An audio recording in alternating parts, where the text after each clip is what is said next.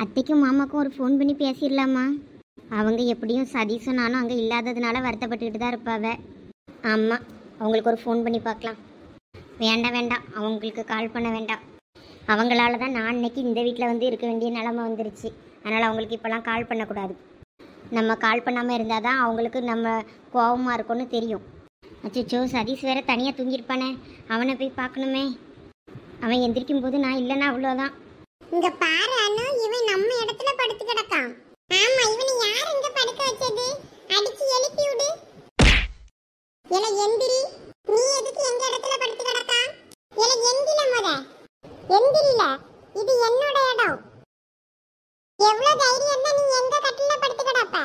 இது என் புது அப்பா வீடு நான் எங்க வேணாலும் படுப்பேன். இங்க பாரு அடி வாங்குவ.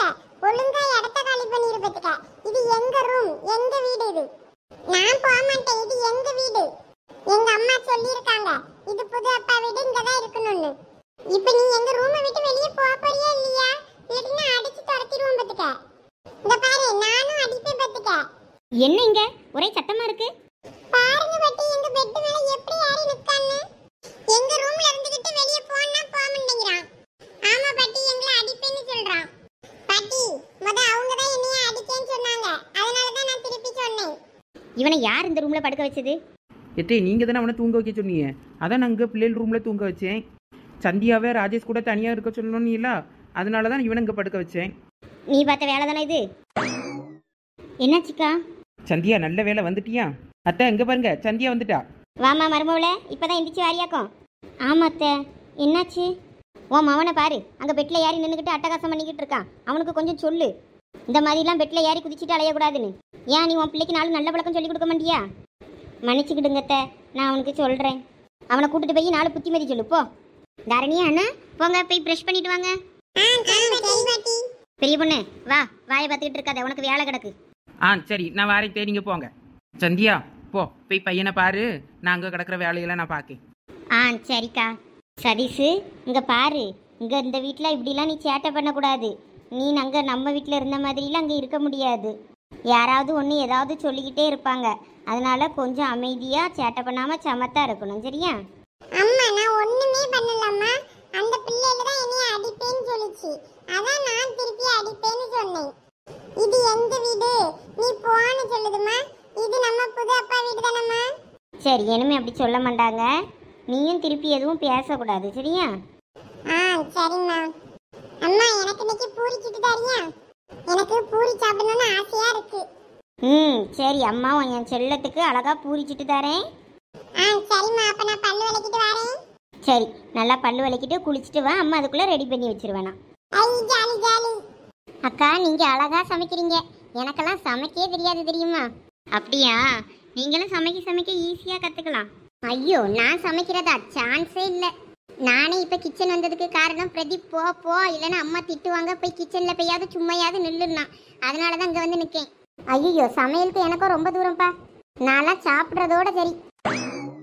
இந்த சமையல் வேலைலாம் நமக்கு சரிப்பட்டு வராது. என்ன ரெண்டு புது பொண்ணுகளும் கிச்சனில் என்ன பண்ணுறீங்க ஆ வாங்கக்கா. பரவாயில்லையே காலையிலேயே டிஃபன் செய்ய உள்ளே வந்தாச்சு போல இருக்கு புது பொண்ணுங்க ரெண்டு பேரும். நான் இப்போ தான் டிஃபன் செய்யலான்னு வந்தேன். அதுக்குள்ளே வேலைய ஆரம்பிச்சிட்டீங்களா? பரவாயில்லையே. இல்லைக்கா சதீஷ் பூரினா ரொம்ப பிடிக்கும் அவனுக்கு.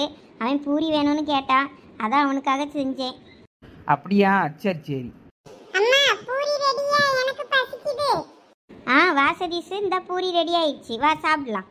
ஐ பூரி. சந்தியா உன்னை யார் இப்போ பூரி செய்ய சொன்னது? இல்லைத்த சதீஷ் தான் பசிக்குதுன்னு சொன்னான் பூரினா பிடிக்கும் அவனுக்கு கொஞ்சம். அதான் கேட்டான் அதனால தான் செஞ்சேன். ஏன் பாட்டி உங்களுக்கெல்லாம் பசிக்காதா? உன்னை யார் முத இப்போ கிச்சனுக்கு வர சொன்னது? தேவையில்லாத வேலையெல்லாம் பண்ணிக்கிட்டு இருக்காத சந்தியா?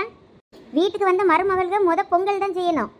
பொங்கல் செஞ்சு இனிப்பு பொருள் செஞ்ச அப்புறம் தான் வேறு ஏதாவது செய்யணும். நீ வந்த உடனே என்னையே காய வச்சுட்டியா? விளங்கிரும். சாரி இத்த மன்னிச்சுக்கிடுங்க.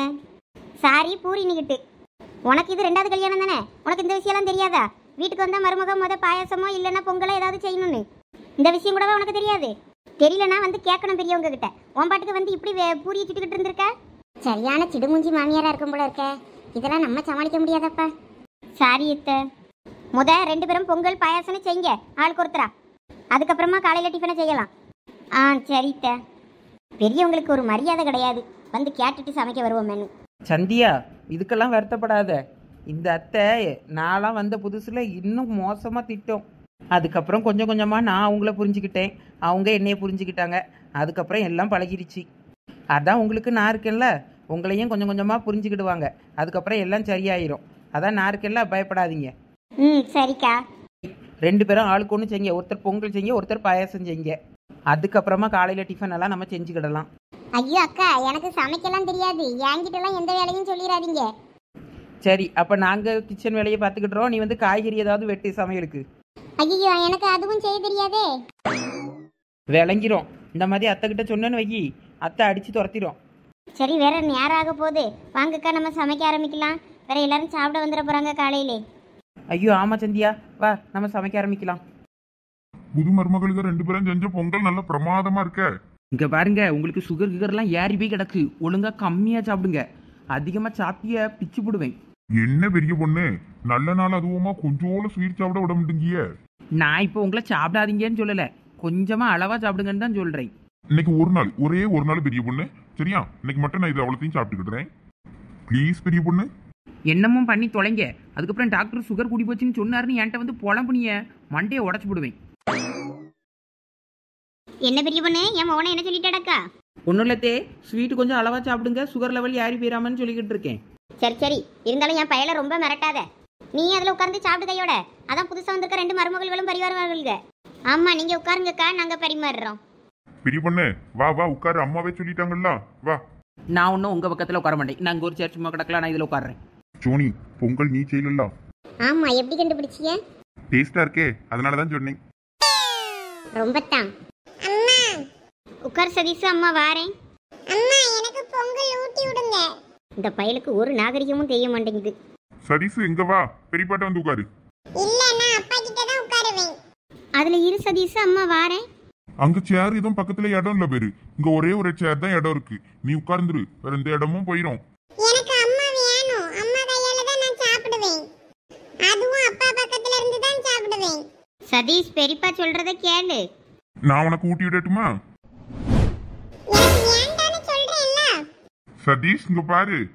இப்படிலாம் நடந்துகிட்டேன்னு வையி. இங்க இருக்க முடியாது அம்மா. இந்த மாதிரி பிஹேவ் பண்ற பழக்கம்லாம் இங்க வச்சுக்கிட கூடாது.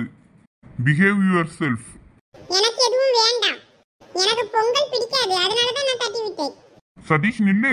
சதீஷ் பண்ண தப்புக்காண்டி நான் உங்ககிட்ட எல்லாம் மன்னிப்பு கேட்டுக்கிறேன். சரி மணி அவனை போய் பாரு. என்னதான் இருந்தாலும் ராஜேஷ் நீ இவ்ளோ கோவப்பட்டிருக்க கூடாது அந்த சின்ன பையன்கிட்ட. போய் முத அந்த பையன்கிட்ட ஒழுங்கா பேசு. ஆ சரிப்பா. கல்யாணம் ஆகி போனதுல இருந்து சந்தியா ஒரு ஃபோன் கூட பண்ணல. லட்சுமி? லட்சுமி? நம்ம மேல கோவமா இருப்பாளோ? அதான் ஃபோனே பண்ணலன்னு நினைக்கேன். லட்சுமி இங்கே என்ன பண்ணிக்கிட்டு இருக்க? ஆ வாங்குங்க. என்ன லட்சுமி எதுவும் பழத்த யோசனையில் இருக்கியா? இல்லைங்க. சந்தியா எதுக்கு இப்படி பூனையே பண்ணாமல் இருந்துக்கிட்டா என்னன்னு தெரியலையேன்னு அப்படி யோசிச்சுக்கிட்டு இருக்கேன். அவளும் பையனும் வீட்டில் இல்லாதது ஈடே வெறிச்சோடி இருக்கு. வேணும்னா நான் அவளுக்கு ஒரு ஃபோன் பண்ணி பார்க்கட்டுமாங்க? வேண்டா லட்சுமி அங்கே அவளுக்கு சூழ்நிலை எப்படி இருக்கோ வேற நீ ஃபோனை பண்ணிக்கிட்டு அது எதுவும் அவளுக்கு பிரச்சனை ஆயிடக்கூடாது அவளே இவன் நினப்பு வரும்போது நமக்கு ஃபோன் பண்ணுவா. அப்போ பேசிக்கிடலாம் புது வீடு புது குடும்பம். அவள் அங்கே செட் ஆகணும். அதுவும் ராஜேஷ் பிள்ளைகள் அவள் பழகணும் வாங்கணும் இருக்கணும். இந்த நேரத்தில் நம்ம ஃபோனை பண்ணி பேசி பேசி அவள் மனசை கெடுத்துட்டு அடக்கப்படாது அவளுக்கு வேற மனசு அங்கேயும் இல்லாமல் இங்கேயும் இல்லாமல் கிடப்பா. ஆமாம் நீங்கள் சொல்கிறதும் சரிதான். அவள் நல்லா இருக்கணும்னு தானே கல்யாணம் பண்ணி வச்சோம். நல்லபடியாக இருப்பா சந்தோஷமா. நீ போட்டு யோசிச்சுக்கிட்டே இருக்காத. சரிங்க. சரி வா டிஃபன் எடுத்து வை எனக்கு. நான் சாப்பிட்டுட்டு கடைக்கு போட்டோம். சதீஷு? அம்மா உங்க பேச்சு நான்க்கா என்கிட்ட நீங்க பேசாதீங்க. சரி இப்போ எதுக்கு நீ பேக் மாட்டிக்கிட்டு நிற்கிற நான் போறேன். எங்கே போகிற தாத்தா பாட்டி வீட்டுக்கு போறேன். நாங்க இருக்க மாட்டேன். எனக்கு இங்க இருக்க பிடிக்கல. இங்க என்னை எல்லாரும் திட்டிக்கிட்டே இருக்காங்க. யாருக்குமே என்னைய பிடிக்கல. அப்பாக்கு கூட என்னைய பிடிக்கல. அதனால நான் போறேன். இங்க இருக்க மாட்டேன். என்னைய தடுக்காத. அப்பா என்னைய திட்டும் போது கூட நீ பார்த்துக்கிட்டு தான் இருந்த. எதுவுமே சொல்லல. நீ அவரை திருப்பி திட்ட கூட இல்ல. எனக்கு இந்த வீட்டுல இருக்கவே பிடிக்கல. நான் போறேன். இங்க பாரு சதீஷ். என்னம்மா? உங்ககிட்ட நான் எத்தனை முறை சொல்லியிருக்கேன். இந்த மாதிரி பிடிவாடம் பிடிக்கக்கூடாதுன்னு. தப்பு உன் மேலே தானே இருக்கு. தப்பை உன் மேலே வச்சுக்கிட்டு இப்படி பிடிவாதம் பிடிச்சா என்ன அர்த்தம்? உன்கிட்ட எத்தனை முறை சொல்லியிருக்கேன். இந்த மாதிரி பிடிவாதம் பிடிக்கக்கூடாதுன்னு. உனக்கு ஒன்று பிடிக்கலன்னா அதை வேண்டான்னு அதை தன்மையாக சொல்லணும். இப்படியா கையில இருந்து தட்டி விடுறது? நீ கேட்டேன்னு தானே காலையில் உனக்கு நான் பூரி செஞ்சு தந்தேன். நீ இவ்வளோ கோவப்பட வேண்டிய அவசியமே இல்லை. ஆனால் அங்கே நீ அவ்வளோ இதாக நடந்துக்கிட்ட வேற உன்னை திட்டாமல் என்ன பண்ணுவாங்க? இதுக்கு தான் அம்மா பேச்சை கேட்கணுங்கிறது. இந்த மாதிரி கோவப்படக்கூடாதுன்னு உங்ககிட்ட நான் பல முறை சொல்லியிருக்கேன்ல. என் சதீஷ் குட் பை தானே? ஆமாம்மா நான் குட் பை தான். ஆனால் அப்பா பேட் அப்பா அம்மா அவர் என்னை எப்படி மிரட்டினாருன்னு பார்த்தல இங்க பாருங்கம்மா நீ புது அப்பாவை மிரட்டினாதான் நாங்க இருப்பேன். இல்லாட்டினா நான் தாத்தா பாட்டி வீட்டுக்கு கோச்சிட்டு கிளம்பிடுவேன். சரி நான் அப்பா கிட்ட பேசுகிறேன் நீ எங்கேயும் போக வேண்டாம் இங்கேயே இரு. பேசுறது இல்ல அவரை நீ திட்டணும். சரி சரி. அப்புறமா நான் அவரை மிரட்டிக்கிறேன். சரி நீ இப்போ வந்து உட்காரு. அவரை எப்படி மிரட்டுவீங்கன்னு என்கிட்ட ஒருக்கா சொல்லி காட்டுங்க. அப்பதான் நான் நம்புவேன். இது வேறயா? ஆமா அப்பாவை நீங்க திட்டியே ஆகணும். என்கிட்ட ஒருக்கா திட்டி காட்டுங்க. அப்பதான் நீங்க அப்பாவை கரெக்டா திட்டுறீங்களான்னு எனக்கு தெரியும். ஒருவேளை நீங்க என்கிட்ட வேற ஏமாத்திட்டீங்கன்னா என்கிட்ட ஒரு முறை திட்டி காட்டுங்க. சரி இரு இப்போவே அப்பாவை எப்படி மிரட்டுறேன்னு பாரு. ஆமாம் நீங்கள் எப்படி சதீஷை திட்டலாம்? இதுதான் நீங்கள் சின்ன பையன்கிட்ட நடந்துக்கிற முறையா? ஓகேவா சதீஷு சூப்பர்மா ஆனா இது பத்தாது இன்னும் இன்னும். உங்ககிட்ட இருந்து நான் இன்னும் எதிர்பார்க்கிறேன். போதும் சதீஷ் பாவம். திட்டுறதுலாம் தப்பு இல்லையா? இல்ல தப்பு இல்ல. இப்ப நீ அப்பாவை திட்ட போறியா இல்லாட்டினா நான் கிளம்பட்டுமா? இல்லை இல்லை இல்லை போயிடாத. இரு இரு நான் திட்டுறேன். இங்கே பாருங்க. என் பையனை இனிமேல் திட்டுற வேலைலாம் வச்சுக்கிடாதீங்க. என் பையன் ரொம்ப நல்ல பையன். இன்னைக்கு நீங்கள் சதீஷ்கிட்ட நடந்துக்கிட்ட முறை ரொம்ப தப்பு. என் பிள்ளை மூஞ்சி வாடி போச்சு நீங்கள் திட்டினதுனால. என்னது சாரியா? உங்கள் சாரிலாம் எங்களுக்கு ஒன்றும் தேவையில்ல. நல்லா என் பிள்ளைகிட்ட கோவப்பட்டு திட்டுவீங்க. இப்போ வந்து சாரி கேட்பீங்களா உடனே நாங்கள் உங்களை மன்னிச்சிடணுமா? அதெல்லாம் ஒன்றும் மன்னிக்க முடியாது உங்களை. முத இங்கேருந்து கிளம்புங்க. உங்ககிட்ட பேச எங்களுக்கு ஐடியா இல்லை ரெண்டு பேருக்கும். உங்கள் மேலே நாங்கள் ரொம்ப கோவமாக இருக்கோம். என்ன? வெளியே கூப்பிட்டு போகிறீங்களா வெளியே கூப்பிட்டு போனாலும் கிஃப்ட்ஸ்லாம் வாங்கி கொடுத்தாலும் என் சதீஷ்லாம் அதுக்கெல்லாம் மயங்க மாட்டான். சதீஷ் பாவம். இதுக்கு மேலே திட்ட வேண்டாமே விட்டுறலாம். அம்மா அப்ப நான் நான் நல்ல பையன் அப்பா கிட்ட சொல்லுங்கம்மா. இங்கே பாருங்க என் பையன் தங்கமான பையன். அந்த பையனை போய் எல்லாரும் முன்னாலையும் திட்டி கஷ்டப்படுத்திட்டீங்கல்ல? இப்போ பாருங்க அவன் வீட்டுக்கு போறேன்னு நிற்கான் அவனை மாதிரி தங்கமான பையனை இந்த ஊருக்குள்ள எங்கேயும் பார்க்க முடியாது. சதீஷு பெசட்டிக்கு அப்பாவை மன்னிச்சு விட்டுறலாமா? சதீஷ் உங்ககிட்ட தான் கேட்குறேன் அப்பாவை மன்னிச்சு விட்டுறலாமே. இல்லை சதீஷ் நான் உங்ககிட்ட தான்ல பேசிகிட்டு இருக்கேன். நீ எங்கே பார்த்துக்கிட்டு இருக்க? ஐயோ இவர் எப்போ வந்தாரு? ஐயோ இப்போ என்ன பண்ணேன்னு தெரியலையே. அம்மா அங்க வாங்க. எங்க போறீங்க? சதீஷ் கொஞ்ச நேரம் சும்மா இருடா. அம்மா இவ்வளவு நேரம் அப்பாவை என்கிட்ட திட்டி காட்டுனீங்கல்ல? இப்ப அப்பா வந்த அப்புறம் அமைதியா இருக்கீங்க? திட்டுங்க. இப்ப மட்டும் நீங்க திட்டலன்னு வைங்க. நான் கிளம்பிடுவேன் பாட்டி வீட்டுக்கு. இருடா போகாத. இரு திட்டுறேன். இங்க பாருங்க. என் சதீஷை திட்டுறதுக்கு உங்களுக்கு எப்படி எப்படி மனசு வந்துச்சு? அதுவும் நீங்க என் பிள்ளையை எப்படி எல்லாரும் முன்னாடியும் திட்டுவீங்க? இன்னொரு தடவை என் சதீஷ் இந்த மாதிரி திட்டுற வேலை வச்சுக்கிட்டீங்க அவ்வளவுதான் உங்களுக்கு. இல்ல பையன் கொஞ்சம் வருத்தமா இருக்கான். பாவம் இல்லையா சின்ன பையன்ல? அவனை அங்க எல்லாரும் முன்னாடியும் திட்டிட்டீங்க. அதனால அவனுக்கு வருத்தமா இருக்கும்ல. அதான். அப்பா கிட்ட சொல்லுங்க சதீஷ் குட் பைன்னு ஆ சொல்கிறேன் ப்ளீஸ் இனிமேல் சதீஷை இப்படி எல்லாரும் முன்னாடியும் திட்டாதீங்க. ஏதாவது அவன் தப்பு பண்ணுனா அவனை தன்மையாக சொல்லுங்க அவன் கண்டிப்பாக கேட்டுப்பான். இந்த மாதிரி இனிமேல் கோவப்படாதீங்க அவன்கிட்ட. சூப்பர்மா. சாரி பாத்தியா உங்கள் அப்பாவை எப்படி திட்டி வெளியே அனுப்பிட்டேன்னு? ஆனா நீங்க தான் சாரி சொல்ல வைக்கலையே. டேய் என்ன சொல்கிற இன்னும் சாரி வேற சொல்ல வைக்கணுமா? சே நான் சேலையெல்லாம் வாழ்நாளில் கட்டினதே இல்லை. சரி ஏதோ மேரேஜுக்கு கட்ட சொல்கிறாங்கன்னு பார்த்தா இனிமேல் ஃபுல்லாகவே saree கட்டணுன்றாங்க இப்படியெல்லாம் நம்மளால இருக்க முடியாதப்பா. இந்த பிரதீப் அவங்க அம்மா கிட்ட எதுவுமே பேச மாட்டேங்கிறான். சரியான சீரியல் மாமியாராக இருக்கு. டார்ச்சர் பண்ணுது. பிரீத்தி அட புதுசா saree எல்லாம் கட்டியிருக்க? எல்லாம் உங்க அம்மா பண்ற வேலை தான். என்ன பிரீத்தி சொல்ற? அவங்க தான். நீ இந்த மாதிரி ட்ரெஸ் எல்லாம் போடக்கூடாது போய் saree கட்டிட்டு வான்னு சொல்லி அனுப்பி விட்டுருச்சு. இங்க பாரு பிரீத்தி அப்படியெல்லாம் சொல்லக்கூடாது. அவங்க ஏதாவது நமக்கு சொல்றாங்கன்னா அது நம்ம நல்லதுக்காக தான் இருக்கும். சரியா? அதை நினைச்சு வருத்தப்பட்டுட்டு இருக்காத. சரி ஓகே நான் ஆபீஸ் போயிட்டு வந்துடுறேன். என்ன ஆஃபீஸ் போறீங்களா? ஆமா பிரீத்தி. கல்யாண வேலைலாம் இருந்ததுனால நான் ஆபீஸ்க்கு சரியாவே போல. நிறைய வேலை பெண்டிங் இருக்கு. போய் அதெல்லாம் முடிக்கணும். அண்ணா கீழே வெயிட் பண்ணிட்டு இருக்காங்க. நான் கிளம்புறேன். பாய் என்ன நீங்க? கல்யாணம் ஆகி ரெண்டு மூணு நாள்ல ஆபீஸ் போறீங்க இனி வெளியெல்லாம் எங்கேயும் கூட்டு போக மாட்டீங்களா? இங்க பாரு பிரீத்தி கல்யாண வேலையினால நிறைய வேலை பெண்டிங்ல இருக்கு. எல்லாத்தையும் நான் போனாதான் முடிக்க முடியும் ஆபீஸ்ல. நான் முடிச்சிட்டு வந்து வெளியே கூட்டு போறேன். போங்க தூர. என்ன இந்த பிரதீப் பையில இன்னும் காணோம்? இங்க பாருமா புரிஞ்சுக்க. அன்னைக்கில வெயிட் பண்ணிட்டு இருக்கான். நான் போலன்னா தேடுவான் வேற வேலையே வந்துருவான். சரி வரேன். பாய் பாய் பாய் பாய் பத்திரமா இரு. இப்படி வீட்ல உட்கார்ந்துருக்கிறதுக்கா கல்யாணம் பண்ணனேன் என்ன சந்தியா மதிய சாப்பாட்டுக்கான வேலையை ஆரம்பிச்சாச்சா? ஆ ஆமாக்கா வாங்க. தடப்புடலாம் வேலையெல்லாம் நடக்குது போல இருக்க. அப்படிலாம் இல்லைக்கா. வெஜிடபிள்ஸ் மட்டும் கட் பண்ணிட்டு இருக்கேன் சாப்பாடு அடுப்பில் வச்சுட்டு. எப்படியும் நீங்கள் அதுக்குள்ளே வந்துடுவீங்க என்ன சமைக்கணும் ஏதுன்னு உங்கள்கிட்ட டிஸ்கஸ் பண்ணிட்டு செய்யலான்னு இருந்தேன். சரி சரி. அப்போ நீ காய்கறியெல்லாம் நறுக்கு நான் மீதி வேலையை நான் பார்க்கேன். ஆ சரிக்கா. இவங்க சமைக்கிறாங்க. நமக்கு சமைக்கவும் தெரியாது. என்ன பிரீத்தி? மூஞ்சி வாடி போயிருக்கு ஆமாக்கா அந்த பிரதீப் பையனை பாருங்க. ஆஃபீஸுக்கு போறேன்னு போயிட்டான். வேற வீட்லயே நான் ஒத்தையில என்ன பண்றது? நான் ஒத்தையில ரூம்ல என்னதான் பண்றது? அதான் இங்க வந்தேன். சந்தியாக்கா ராஜேஷ் அத்தனை வேலைக்கு போயிட்டாங்களா? ஐயோ அவர் என்ன ஆனாருன்னு நமக்கு என்ன தெரியும்? என்னக்கா ஒன்றும் சொல்லாம நிக்கிறீங்க? ஆ பிரீத்தி ராஜேஷ் தம்பி ஏதோ வேலைக்கு கிளம்பணும்னு சொல்லிட்டு இருந்தாங்க. நான் பேசிட்டு இருந்ததை கேட்டேன். அப்படியா? அப்ப அவங்களும் அப்படிதானா? அட அட என் மூணு மருமகள்களும் கிச்சன்ல நின்று வேலை பார்க்கறத பார்க்கவே சந்தோஷமா இருக்கு. ஐயோ அத்தை ஐயோ இப்போ ஏதாவது வேலை செய்யற மாதிரி நடிக்கணுமே? இல்லாட்டினா இந்த கிழவி ஏதாவது சொல்லி திட்டுமே? கடவுளே இதே மாதிரி எப்பயும் சந்தோஷம் நிலைச்சிருக்கணும் என் குடும்பத்துல. அனிதா அனிதா. ஓ சந்தியாக்காவை தான் அனிதா அனிதான்னு கூப்பிட்டு இருக்குன்னு நினைக்கிறேன். அனிதா? சந்தியா உன்னையே தான் அத்தை கூப்பிடுறாங்க. ஆ சொல்லுங்க அத்தை. இங்க பார் சந்தியா உன் பேர் அனிதா. சந்தியா கிடையாது சரியா? ராஜேஷோட மூத்த மனைவி பேர் தான் உனக்கு வச்சிருக்கு ஞாபகம் வச்சுக்க. ஆ சரித்த அத்தை. இங்கே பாருங்க. ஞாபகம் வச்சுக்கிடுவா. இப்போதானே ஆரம்பம். இனிமே வர வர ஞாபகம் வச்சுக்கிடுவா. ஆமா இதுல மறக்க என்ன இருக்கு? ஒரு பேரை ஞாபகம் வச்சுக்கிட முடியாதா? ஆகா கிளவி வெடிக்க ஆரம்பிச்சிருச்சே. ஆ நான் இப்போ எதுக்கு வந்தேன்னா? ஐயோ எதுக்கு வந்தேனே மறந்துட்டேனே. ஆகா கிளவி எதுக்கு வந்தோன்றதே மறந்துருச்சு.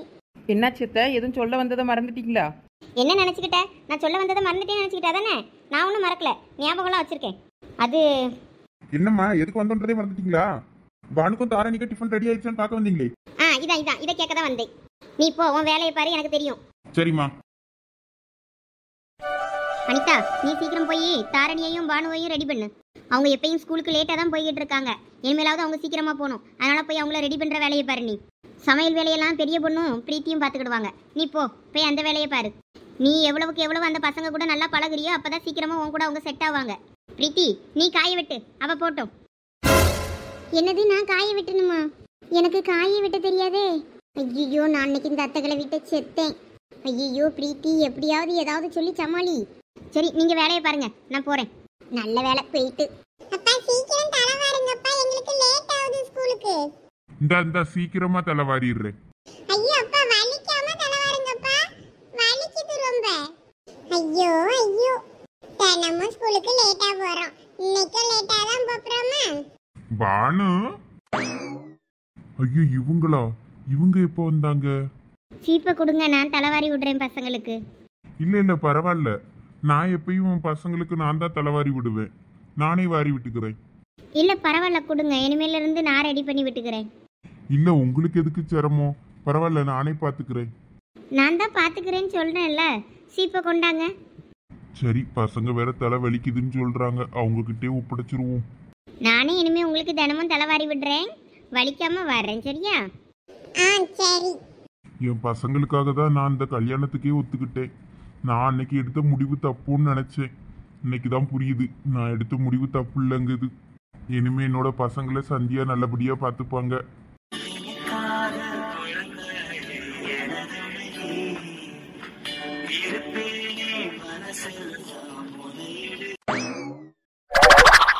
என்னாச்சு இவருக்கு? என்னடா மூஞ்செல்லாம் வாடி போயிருக்கு. என்னாச்சு? ஒன்றும் இல்லையே நான் நல்லா தான் இருக்கேன். என்னன்னா பிரதீப் இங்க வந்து நிற்கான் ஆமாப்பா ராஜேஷ். இன்னைக்கு ஒரு மீட்டிங் இருக்குல்ல? அதான் அவன் தான் அட்டன் பண்ணணும் அந்த மீட்டிங்கை அதனால தான் வர சொன்னேன். இல்லைண்ணா பரவாயில்ல இருக்கட்டும். அந்த மீட்டிங்கை நான் பார்த்துக்கிறேன். அவன் வர வேண்டாம். இல்ல ராஜேஷ் புரிஞ்சுக்க. அவன் இருந்தா தான் அந்த மீட்டிங் சரியா நடக்கும். அவனுக்கு தான் எல்லாம் தெரியும் அதை பத்தி. பரவாயில்லண்ணா நான் சமாளிச்சுக்கிறேன். ராஜேஷ் சொன்னா கேளு. இங்க பாருங்கண்ணா அவனுக்கு இப்பதான் கல்யாணம் ஆயிருக்கு. அதனால கொஞ்சம் சந்தோஷமா இருக்கணும்னு நினைப்பான். அதனால அவன் இருந்துட்டு போட்டோம் நம்ம பார்த்துக்கலாம். அவன் ஆஃபீஸ்க்குலாம் வர வேண்டாம். நம்மளே மேனேஜ் பண்ணிக்கலாம். அவன் மூஞ்ச நல்லா பாருங்க. அவனுக்கு ஆஃபீஸ் வர விருப்பமே இல்லை. விட்டா அழுதுருவான் போல இருக்கு. அவன் இங்கேயே இருக்கட்டும். ஆமா அப்ப அதுவும் சரிதான். இலை பிரதீப் எங்க வா? என்ன நான் கிளம்பலாமா? இல்ல இல்ல நீ ஆபீஸ்க்குலாம் வர வேண்டாம். நீ நல்லா உன்னோட கல்யாண லைஃபை என்ஜாய் பண்ணு. ஐ உண்மையாவா சொல்றீங்க? ஆமா ஆமா நல்லா ஹாப்பியா என்ஜாய் பண்ணு. என்ன இப்பதானே பிரீத்திட்டு நான் ஆபீஸ் போறேன்னு சொன்ன உடனே கோச்சிக்கிட்டா? அவளை போய் நான் இப்ப எப்படி சமாதானப்படுத்துவேன்? ஒரு கிஃப்ட் கிஃப்ட் வாங்கி கொண்டு போய் கொடுத்து சமாதானப்படுத்து. வா ஆபீஸ்ல போற வழியில கடையில கொண்டு இறக்கி முடியும் ஆ சரிண்ணா. சரி வா கார்ல ஏறு. சதீஷை வேற காலையிலேயே நம்ம திட்டிட்டோம். அவன் வேற கோபமா இருப்பான். அவனுக்கும் அப்பனா நம்ம ஒரு கிஃப்ட் ஏதாவது வாங்கி கொடுத்து அவனையும் சமாதானப்படுத்தணும். நம்ம கிஃப்ட் வாங்கி கொடுத்தா கண்டிப்பா அவன் சந்தோஷப்படுவான். ரெண்டு பேரும் ஸ்கூலுக்கு ரெடி ஆகணும்ல? போங்க சீக்கிரம் யூனிஃபார்ம் எடுத்துட்டு வாங்க போட்டு விடுறேன். நீங்க எதுக்கு எங்களை ரெடி பண்ணி விடுறீங்க? நீங்க என்ன எங்க சின்னம்மாவா இல்லைம்மா நான் உங்களோட புது அம்மா. இங்க பாரு பானு பொய் சொல்றாங்க. இவங்க நம்மளோட சின்னம்மா சித்தி. சரி உங்களோட யூனிஃபார்ம் எங்க இருக்கு சொல்லுங்க. நானே எடுத்து போட்டு விடுறேன். நாங்க சொல்ல மாட்டோம். சரி நானே தேடி எடுத்து போட்டு விடுறேன். எடி பானு நம்ம யூனிஃபார்ம் எடுத்து ஒளிச்சு வச்சிருக்கோம்ல அந்த இடத்த இவங்களுக்கு தெரியாம பாத்துக்கோ இவங்களுக்கு கண்டிப்பா தெரியாது. நான் அப்பவே நம்ம பெட்டுக்கு கீழே ஒளிச்சு வச்சுட்டு தான் வந்தேன். ஐ சூப்பர். நம்ம இன்னைக்கு ஸ்கூலுக்கு போகாம ஜாலியா வீட்லயே கடந்துக்கிடலாம். அம்மா வாசதீஸு அம்மா அந்த ரெண்டு பொண்ணுங்களும் பேட் கேர்ள்மா இந்த பொண்ணுங்க ரெண்டு பேரும் யூனிஃபார்ம் அங்க பெட்டுக்கு கீழே ஒளிச்சு வச்சிருக்குதுங்க. இப்ப பாரு இந்த சித்தி நம்மள திட்டம். ஆஹா அதெல்லாம் கிடையாது. நான்லாம் ஒன்றும் திட்ட மாட்டேன். நீங்கள் இப்படியே கிளம்பாம ஸ்கூலுக்கு கிளம்பாம லேட் பண்ணீங்கன்னா ஸ்கூலில் போய் நீங்கள் ரெண்டு பேரும் தான் திட்டு வாங்குவீங்க. சீக்கிரம் கிளம்புனீங்கன்னா ஸ்கூலுக்கு போகலாம் பாய்ஸ் முன்னாடிலாம் நாங்க Dress மாத்த முடியாது. இவனை வெளிய போக சொல்லுங்க. சரி அவன் வெளியே போனான்னா நீங்கள் ட்ரெஸ் மாற்றுவீங்கல்ல ஆ மாத்துவோம். சதீஷு நீ குட் பாய் தானே? ஆமாம்மா. நீ போய் உன்னோட ரூமுக்கு போய் ஃப்ரெஷ் ஆகு. அம்மா வந்து உனக்கு ட்ரெஸ் பண்ணி விடுறேன். ஸ்கூலுக்கு போகணும்ல? ஆ சரிம்மா. ம் அவன் போயிட்டான். இப்போ சீக்கிரம் யூனிஃபார்ம் மாற்றிட்டு வாங்க. வா பானு நம்ம யூனிஃபார்ம் மாத்திட்டு வரலாம். சீக்கிரம் லேட் ஆகுது. அப்பா இந்த குட்டீஸ் எல்லாம் எப்படி சமாளிக்க போறேனோ தெரியல. சதீஷை வேற ஸ்கூலுக்கு அனுப்பணும். ம், பானுவையும் தாரணியும் வேற ஸ்கூலுக்கு அனுப்பணும். எப்படி அனுப்புறது? கொண்டு போய் நான் எப்போ சதீஷை கொண்டு போய் விடுறது? சரி பெரிய பொண்ணாக்கிட்ட கேட்டு பார்க்கலாம். அக்கா உங்களை தான் தேடி வந்தேன். எதுக்கு சந்தியா? எனக்கு ஒரு ஹெல்ப் பண்ணுவீங்களா? என்ன ஹெல்ப் சந்தியா? சொல்லு. இல்லைக்கா தாரணியும் பானுவும் ரெடி ஆயிட்டாங்க ஸ்கூலுக்கு அவங்கள கொண்டு போய் காரில் ட்ராப் பண்ணிடுவாங்கல்ல அப்புறம் சதீஷையும் நான் ஸ்கூலுக்கு அனுப்பணும். அவனை எப்படி ட்ராப் பண்ணுறதுன்னு எனக்கு தெரியல. அதான் உங்கள்கிட்ட ஹெல்ப் கேட்கலான்னு பார்த்தேன். இதில் என்ன இருக்கு சந்தியா? பானுவும் தாரணியும் போகிற வண்டியிலேயே சதீசி அனுப்பி விட்டுற வேண்டியது தானே? போகிற வழியில இறக்கி விட்டுருவாங்கல்ல? ஒன்றும் ப்ராப்ளம் இல்லையாக்கா அதனால? இதில் என்ன ப்ராப்ளம் இருக்கு? போ நீ போய் சதீஷை ரெடி பண்ணி கூட்டிட்டு வா நான் அதுக்குள்ளே டிரைவர்கிட்ட சொல்லி வைக்கேன். சரிக்கா. யார் காரில் போப்புறா ஆ அத்தை சதீஷும் ஸ்கூலுக்கு போகணும்ல அதான் பசங்க கார்லேயே அவனையும் சேர்த்து அனுப்பிடலான்னு சொல்லிக்கிட்டு இருக்கேன் சந்தியா கிட்ட. அதெல்லாம் வேண்டாம். பானுவும் தாரணியும் எப்பயும் போல் அவங்க தனியாகவே போட்டும் காரில். வீட்டில் இருக்க கார் எல்லாமே வெளியில் போயிடுச்சு வேற கார் எதுவும் இல்லையே. அதனால அவனை இன்னைக்கு ஒரு நாள் ஸ்கூலுக்கு லீவு போட சொல்லு. அத்தை அவன் ஸ்கூலுக்கு ரெடி ஆகிட்டு இருக்கான். ஒரு நாள் ஸ்கூலுக்கு போகலன்னா ஒன்றும் குடிமுழுகி போகாது. பெரிய பொண்ணு சீக்கிரம் பானுவும் தாரணியும் வண்டியில அனுப்பி விடு ஸ்கூலுக்கு லேட் ஆகுது பாரு. டிரைவரை வண்டி எடுக்க சொல்லு. ஆ சரித்த தாய் கிழவி லேசுப்பட்ட கிழவி இல்லை. இங்க பாரு அனிதா உன் பிள்ளைக்கு ஸ்கூல்ல போய் கத்துக்கணும்னு ஒரு அவசியமும் கிடையாது. வீட்லயே அவனுக்கு நாலு நல்ல பழக்கம் சொல்லி கொடு. வீட்டில் இருந்தவங்ககிட்ட எல்லாம் எப்படி பழகணும் எப்படி இருக்கணும்னு முத சொல்லி கொடு. அதுக்கப்புறம் நீ அவனை பள்ளிக்கூடத்துக்கு அனுப்ப அதை பத்தி யோசிக்கலாம். போ போய் வேலையை பாரு. வந்துட்டா. பிள்ளைய பள்ளிக்கூடத்துக்கு அனுப்ப போறேன்னு. ஐயோ அத்தை வேற ஸ்கூலுக்கு சதீஷ் அன்னைக்கு போக வேண்டாம்னு சொல்லிட்டாங்களே. சதீஷ் வேற ஆசை ஆசையா ஸ்கூலுக்கு கிளம்பிக்கிட்டு இருக்கான். இப்போ என்ன பண்றது? அம்மா நான் ஸ்கூலுக்கு ரெடி ஆயிட்டேன். சிச்சோ இப்போ இவனை என்ன சொல்லி சமாளிக்கன்னு தெரியலையே. என்னம்மா ஸ்கூலுக்கு லேட் ஆயிடுச்சுல வா கிளம்பலாம்.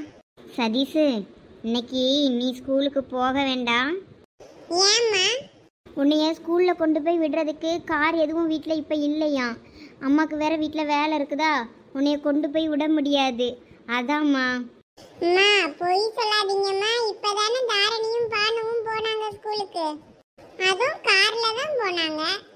ஏம்மா நான் கார்ல போக கூடாதாம்மா இந்த அப்பா ரொம்ப மோசம்மா. பத்தியா?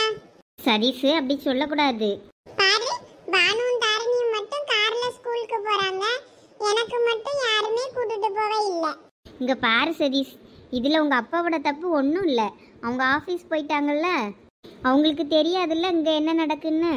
அவர் மேலே எந்த தப்பும் இல்லை சதீஷ். நீ தானே மிஸ்பிஹேவ் பண்ண. அதனால தான் அவங்க உங்ககிட்ட கோவப்பட்டாங்க. நீ தானே பேட் பாய் மாதிரி பிஹேவ் பண்ண. இங்கே பாரு சதீஷ் எல்லாருக்கும் குட் பாயை தான் ரொம்ப பிடிக்கும். அதனால நீயும் இனிமே குட் பாயாக நடந்துக்கிடணும். இப்படியெல்லாம் கோவப்படக்கூடாது சரியா? குட் பாய் தான் எல்லாருக்கும் பிடிக்கும். கடவுளுக்கு கூட குட் பாய் தான் பிடிக்கும். போங்கம்மா பொய் சொல்லாதீங்க. நான் குட்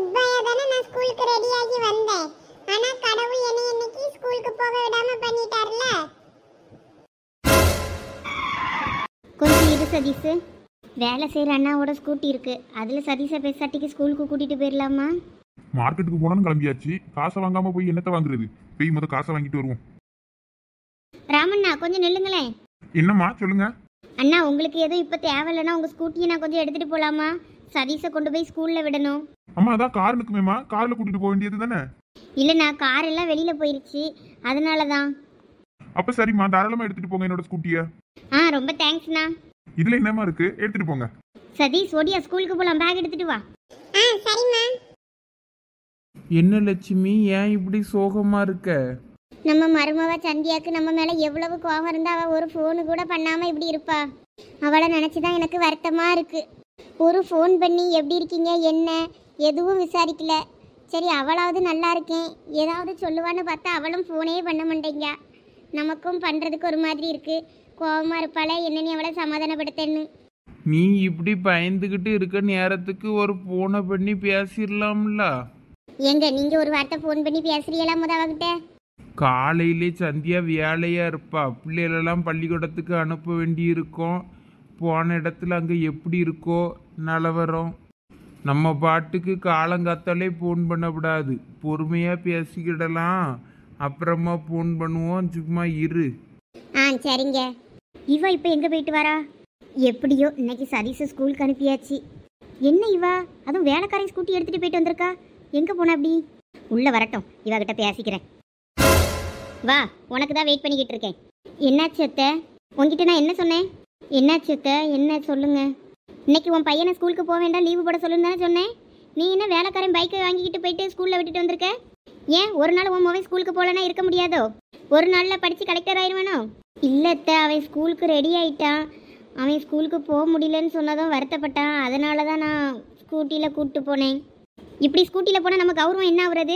இந்த வீட்டுக்குன்னு ஒரு மான மரியாதைன்னு இருக்குது இல்லத்த நான் கல்யாணத்துக்கு முன்னாடி கூட சதீஷை ஸ்கூட்டியில் தான் ஸ்கூலுக்கு கொண்டு போய் விட்டுட்டு வருவேன் த. நீ கல்யாணத்துக்கு முன்னாடி எப்படி வேணாலும் இருந்திருக்கலாம். அதுக்காக கல்யாணத்துக்கு அப்புறமும் நீ அதே மாதிரி இருக்க முடியாது. இந்த வீட்டுக்குன்னு ஒரு மான மரியாதைலாம் இருக்குது இந்த வீட்டு மருமக ஸ்கூட்டி எடுத்துகிட்டு அதுவும் வேலைக்காரன் ஸ்கூட்டி எடுத்துக்கிட்டு வெளியே போயிட்டு வரதெல்லாம் நல்லா இல்லை.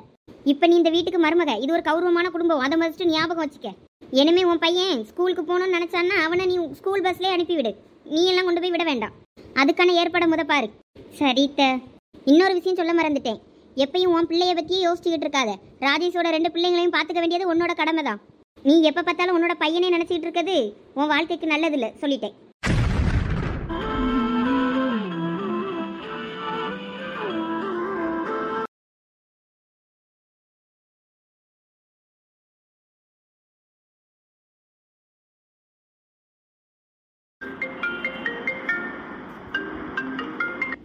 யார் ஃபோன் அடிக்கிறது? சந்தியா? ஆ சொல்லுங்க அத்தை. எப்படி இருக்கம்மா? நல்லா இருக்கியா? உனக்கு இந்த அத்தைக்கு ஒரு ஃபோன் கூட பண்ணணும்னு தோணலல்ல? என் மேல உனக்கு அவ்வளவு கோவமா? நாங்க தான் அன்னைக்கே சொன்னோம்ல எங்க மேல தான் தப்பு மன்னிச்சிருன்னு. அப்ப கூட உனக்கு எங்க மேல கோவம் குறையலையா? இல்லத்த எனக்கு உங்கள் மேலே கோவம்லாம் இல்லை. எனக்கு இங்கே நிறைய வேலை இருக்குத்த வைக்கிறேன். லட்சுமி அவ அங்கே சந்தோஷமா இருக்காளான்னு கேளு. அத்தை மாமா கிட்ட சொல்லுங்க. நான் இங்கே நல்லா தான் இருக்கேன். நீங்கள் சொன்ன பொய்யை என்னைக்குமே என் உயிர் போனாலும் இங்கே தெரிகிற மாதிரி நான் காமிச்சிக்க மாட்டேன். அதனால் நீங்கள் பயப்பட வேண்டாம். எந்த சூழ்நிலையில நீங்கள் சொன்ன பொய் வெளியே தெரியாது.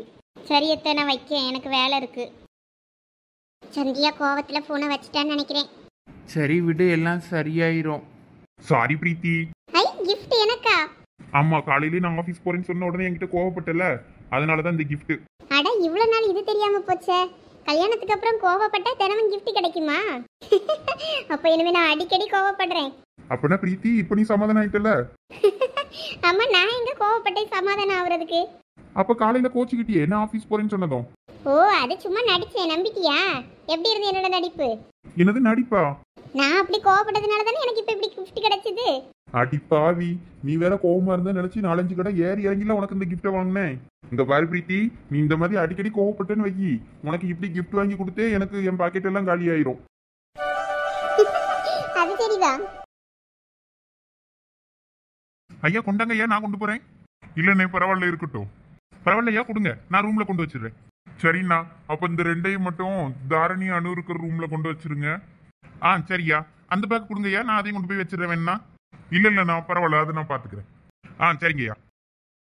சதீஷ்க்கு எப்படியாவது இந்த கிஃப்ட்டை கொடுத்து அவனை சமாதானப்படுத்தணும். அவன் வேற நம்ம மேல ரொம்ப கோவமா இருக்கான். எப்படி கொடுக்கன்னு தான் தெரியல. என் தங்க பிள்ளை எவ்வளோ அழகா படிச்சிட்டு இருக்கு ஸ்கூல்ல இருந்து வந்ததும். இதுக்காகவே உனக்கு நான் ஒரு கிஸ் தரலான்னு இருக்கேன். என்னம்மா நல்லா படிக்கிறேன்னு கிஸ் தர போறேன் நீங்க தரவே இல்ல. ஐயோ என்ன நினைச்சாங்களோ தெரியலையே நம்மளை பத்தி. சதீஷு. என்னம்மா?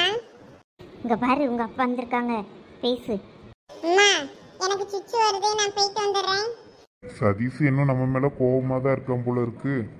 அப்பனா கண்டிப்பா அவன் நம்ம அந்த கிஃப்ட்டை கொடுத்தா வாங்கிக்கவும் மாட்டான். பெசாட்டிக்கு சந்தியாட்டையே கொடுத்து அவளே கொடுக்க சொல்லிடலாம். ஆமா அதான் சரி. என்ன பண்றாரு இவரு?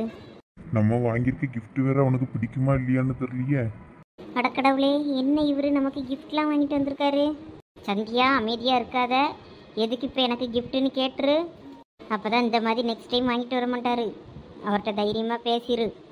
சந்தியா இந்த கிஃப்டை சதீஷ்க்கு கொடுத்துருங்க. அவன் இன்னும் என் மேல கோவமா இருக்கான்னு நினைக்கிறேன். அதனால நீங்க கொடுக்கறது தான் சரியா இருக்கும். ஆ சரிங்க. ச்சே. ஐயோ தலையில் அடிச்சதை பார்த்துட்டாரோ? ச்சே இவரை போய் நான் எப்படி தப்பா நினைச்சேன்? Gift சதீஷ்க்கு வாங்கிட்டு வந்திருக்காரு. நான் ஏதோ எனக்குன்னு நினைச்சிட்டேன்.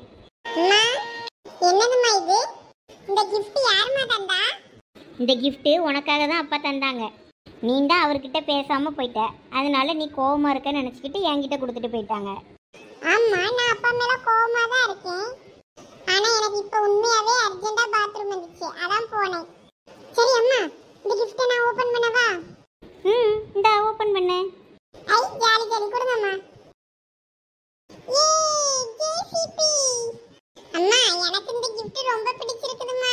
அப்பாக்கு நான் தேங்க்ஸ் சொன்னேன்னு சொல்லிரு. ம் அதை நீயே சொல்லு. அம்மா நீங்களே சொல்லுங்கம்மா. சரி நான் இதை நான் ரூமுக்கு கொண்டு போய் விளையாடுறேன். சரி பார்த்து கவனமா விளையாடு. ஆ சரிம்மா. சதீஷ் கோவமா இருக்கான்னு தான் அவனை சமாதானப்படுத்துறதுக்கு கிஃப்ட்லாம் வாங்கிட்டு வந்திருக்காங்க. நான் இன்னும் ஒரு தேங்க்ஸ் கூட சொல்லலையே உங்களுக்கு. எப்படியாவது இன்னைக்குள்ள தேங்க்ஸ் சொல்லிடணும் எல்லாரும் சாப்பிட வந்தாச்சு நீ என்ன சாப்பாடு எடுத்து வைக்கலையா அனிதா? பெரிய பொண்ணு சாப்பிட முத ஆளா உட்காந்துருக்கிய நீயாவது முத சாப்பாடை எடுத்து கொண்டு வந்து வச்சிருக்கலாம்ல. எங்க சந்தியா தான் நான் பரிமாறுறேன் நீங்கெல்லாம் உட்காருங்கன்னு சொன்னான் அதான் நான் உட்கார்ந்தேன். பாரு அம்மா இப்ப அந்த பொண்ணு சத்தம் போட்டுக்கிட்டு இருக்கா. இதோத்த நான் போய் எடுத்துட்டு வந்துடுறேன். கோவப்படாத காயத்ரி மருமக எடுத்துட்டு வருவா. என்னையாச்சு? என்ன நீ என்னைய பார்த்துக்கிட்டு இருக்க? அவனுக்கு தண்ணி ஏதாவது எடுத்து கொடு. இதோத்த முதுகுல கொஞ்சம் அவனுக்கு தடவி விடு. அப்பதான் சீக்கிரம் சரியாகும். எனது தடவி விடணுமா? என்ன? பார்த்துக்கிட்டே இருக்க அனிதா? தடவி விடு. ஆ சரித்த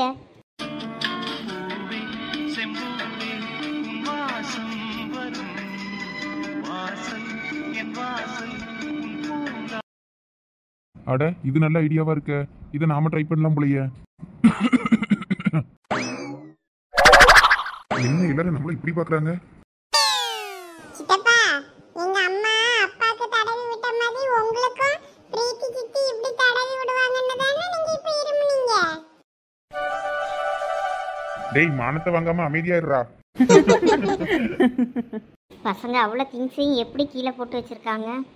சரி அவ்வளோத்தையும் எடுத்து க்ளீன் பண்ணி வச்சுட்டு போகலாம் ரூமை பசங்க ரூமை நாம க்ளீன் பண்ணலான்னு வந்தா சந்தியா க்ளீன் பண்ணிட்டு இருக்காங்களே. பரவாயில்ல. அவ்வளோத்தையும் எப்படி கொட்டி போட்டு வச்சிருக்காங்க? இவர் எப்போ வந்தார்? வந்தார் எதுவும் சொல்லாமல் அது பாட்டுக்கு போய்கிட்டே இருக்காரு. இவர் பேசவே மாட்டாரா? ஏதாவது பேசினா தானே எனக்கு புரியும். என்னைய தான் பார்க்க வந்தாரா? இல்லைன்னா குழந்தைங்கள பார்க்க வந்தாரான்னு தெரியலையே. குழந்தைங்கள பார்க்க வந்திருப்பாரா இருக்கும். சதீஷ்க்கு கிஃப்ட் எல்லாம் வாங்கி கொடுத்தாரு. அவருக்கு எப்படியாயினும் தேங்க்ஸ் சொல்லணும். சந்தியா நம்ம ரெண்டு பொண்ணுங்களையும் நல்லபடியாக பார்த்துக்கிறாங்க. அவங்களுக்கு ஒரு நன்றியாவது சொல்லணும். என்னப்பா சதீஷு? அம்மா ஒண்ணும் இல்ல. நான் அப்பாவை பார்க்க வந்தேன். அப்பாவையா? அப்பா? சொல்லுப்பா சதீஷ். ரொம்ப தேங்க்ஸ்ப்பா எனக்காக கிஃப்ட்லாம் வாங்கி தந்ததுக்கு. ம் பரவாயில்ல. இருக்கட்டும். உனக்கு gift பிடிச்சிருந்ததா? ம் ரொம்ப பிடிச்சிருந்ததுப்பா. அப்பா! ஆ வாங்க சொல்லுங்களா. என்ன ரெண்டு பேரும் தூங்கலையா? இல்லப்பா நாங்க இன்னைக்கு உங்க கூட தூங்கலாம்னு வந்தோம். சரி தூங்குங்க அப்பா அப்பா அப்ப நானும் இங்க தூங்கட்டுமா ம் சரி தூங்கலாம். ஐ ஜாலி. இன்னைக்கு அப்பா கூட தூங்க போறோம். நான் தான் அப்பா பக்கத்துல படுப்பேன். சண்டை போடாம படுக்கணும் ஆ சரிப்பா எல சதீஷ் என்ன இந்த இடத்துல படுக்காதல இது எங்க அப்பாவோட பிளேஸ் ஆமா அந்த பிளேஸ் எங்க அப்பாவோட ஃபேவரட் பிளேஸ் அங்க யாரையும் படுக்கவே விட மாட்டாங்க நீ அந்த பக்கம் படுக்க கூடாது இந்த பக்கம் வா நம்ம முதல் நாள் அங்கே தானே படுத்தோம் அதனால தான் அவர் ஒரு மாதிரி முழிச்சிட்டு இருந்தாரோ? எதுக்கு இவன் இந்த பக்கம் படுத்திருக்கான்னு? சதீஷ்? ஆ சொல்லும்மா. வா எந்திரி. இந்த பக்கமாக வந்து படுவா ஆ சரிம்மா.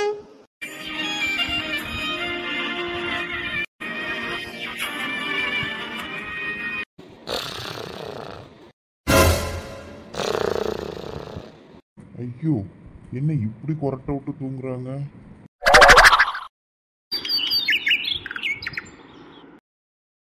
நேரமாச்சு. பானுவையும் தாரணியும் வேற ஸ்கூலுக்கு கிளப்பணும். அதுக்கப்புறம் சதீஷையும் வேற ஸ்கூலுக்கு கிளப்பி விடணும். இவ எங்க போயிட்டு இருக்கா? அனிதா? அத்தெல்லாம் கூப்பிடுற மாதிரி இருக்கு. ஆ சொல்லுங்க அத்தை. இங்க கொஞ்சம் வா. அம்மா எங்க போய்கிட்டு இருக்க நீ? பானுவையும் தாரணியும் ஸ்கூலுக்கு ரெடி பண்ணி விட்டுட்டியா? இல்லத்த இனிமே தான் அவங்கள ரெடி பண்ணி விடணும்.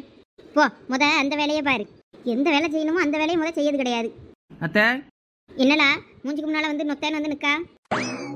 எத்தே இன்னைக்கு பானுக்கும் தாரணிக்கும் பேரண்ட்ஸ் டீச்சர்ஸ் மீட்டிங் இருக்குன்னு சொன்னாங்கல்ல? அதை சந்தியாட்ட சொல்லிட்டீங்களா? ஐயோ நான் அதை மறந்துட்டேன் பாரேன். ம் இது மட்டும் எல்லாத்தையும் மறந்துடும் நம்மளை மட்டும் எல்லாத்துக்கும் குறை சொல்லும் இங்க பாரு அனிதா இன்னைக்கு பானுக்கும் தாரணிக்கும் பேரண்ட்ஸ் டீச்சர்ஸ் மீட்டிங் இருக்கு. ராஜேஷ் கூட நீயும் போக வேண்டியிருக்கும். நீ ரெடியா இரு. அத்தை நானா? ஆமா இனிமே நீ தானே பானுக்கும் தாரணிக்கும் அம்மா? நீ அதனால போயிட்டு வந்துரு ஸ்கூலுக்கு.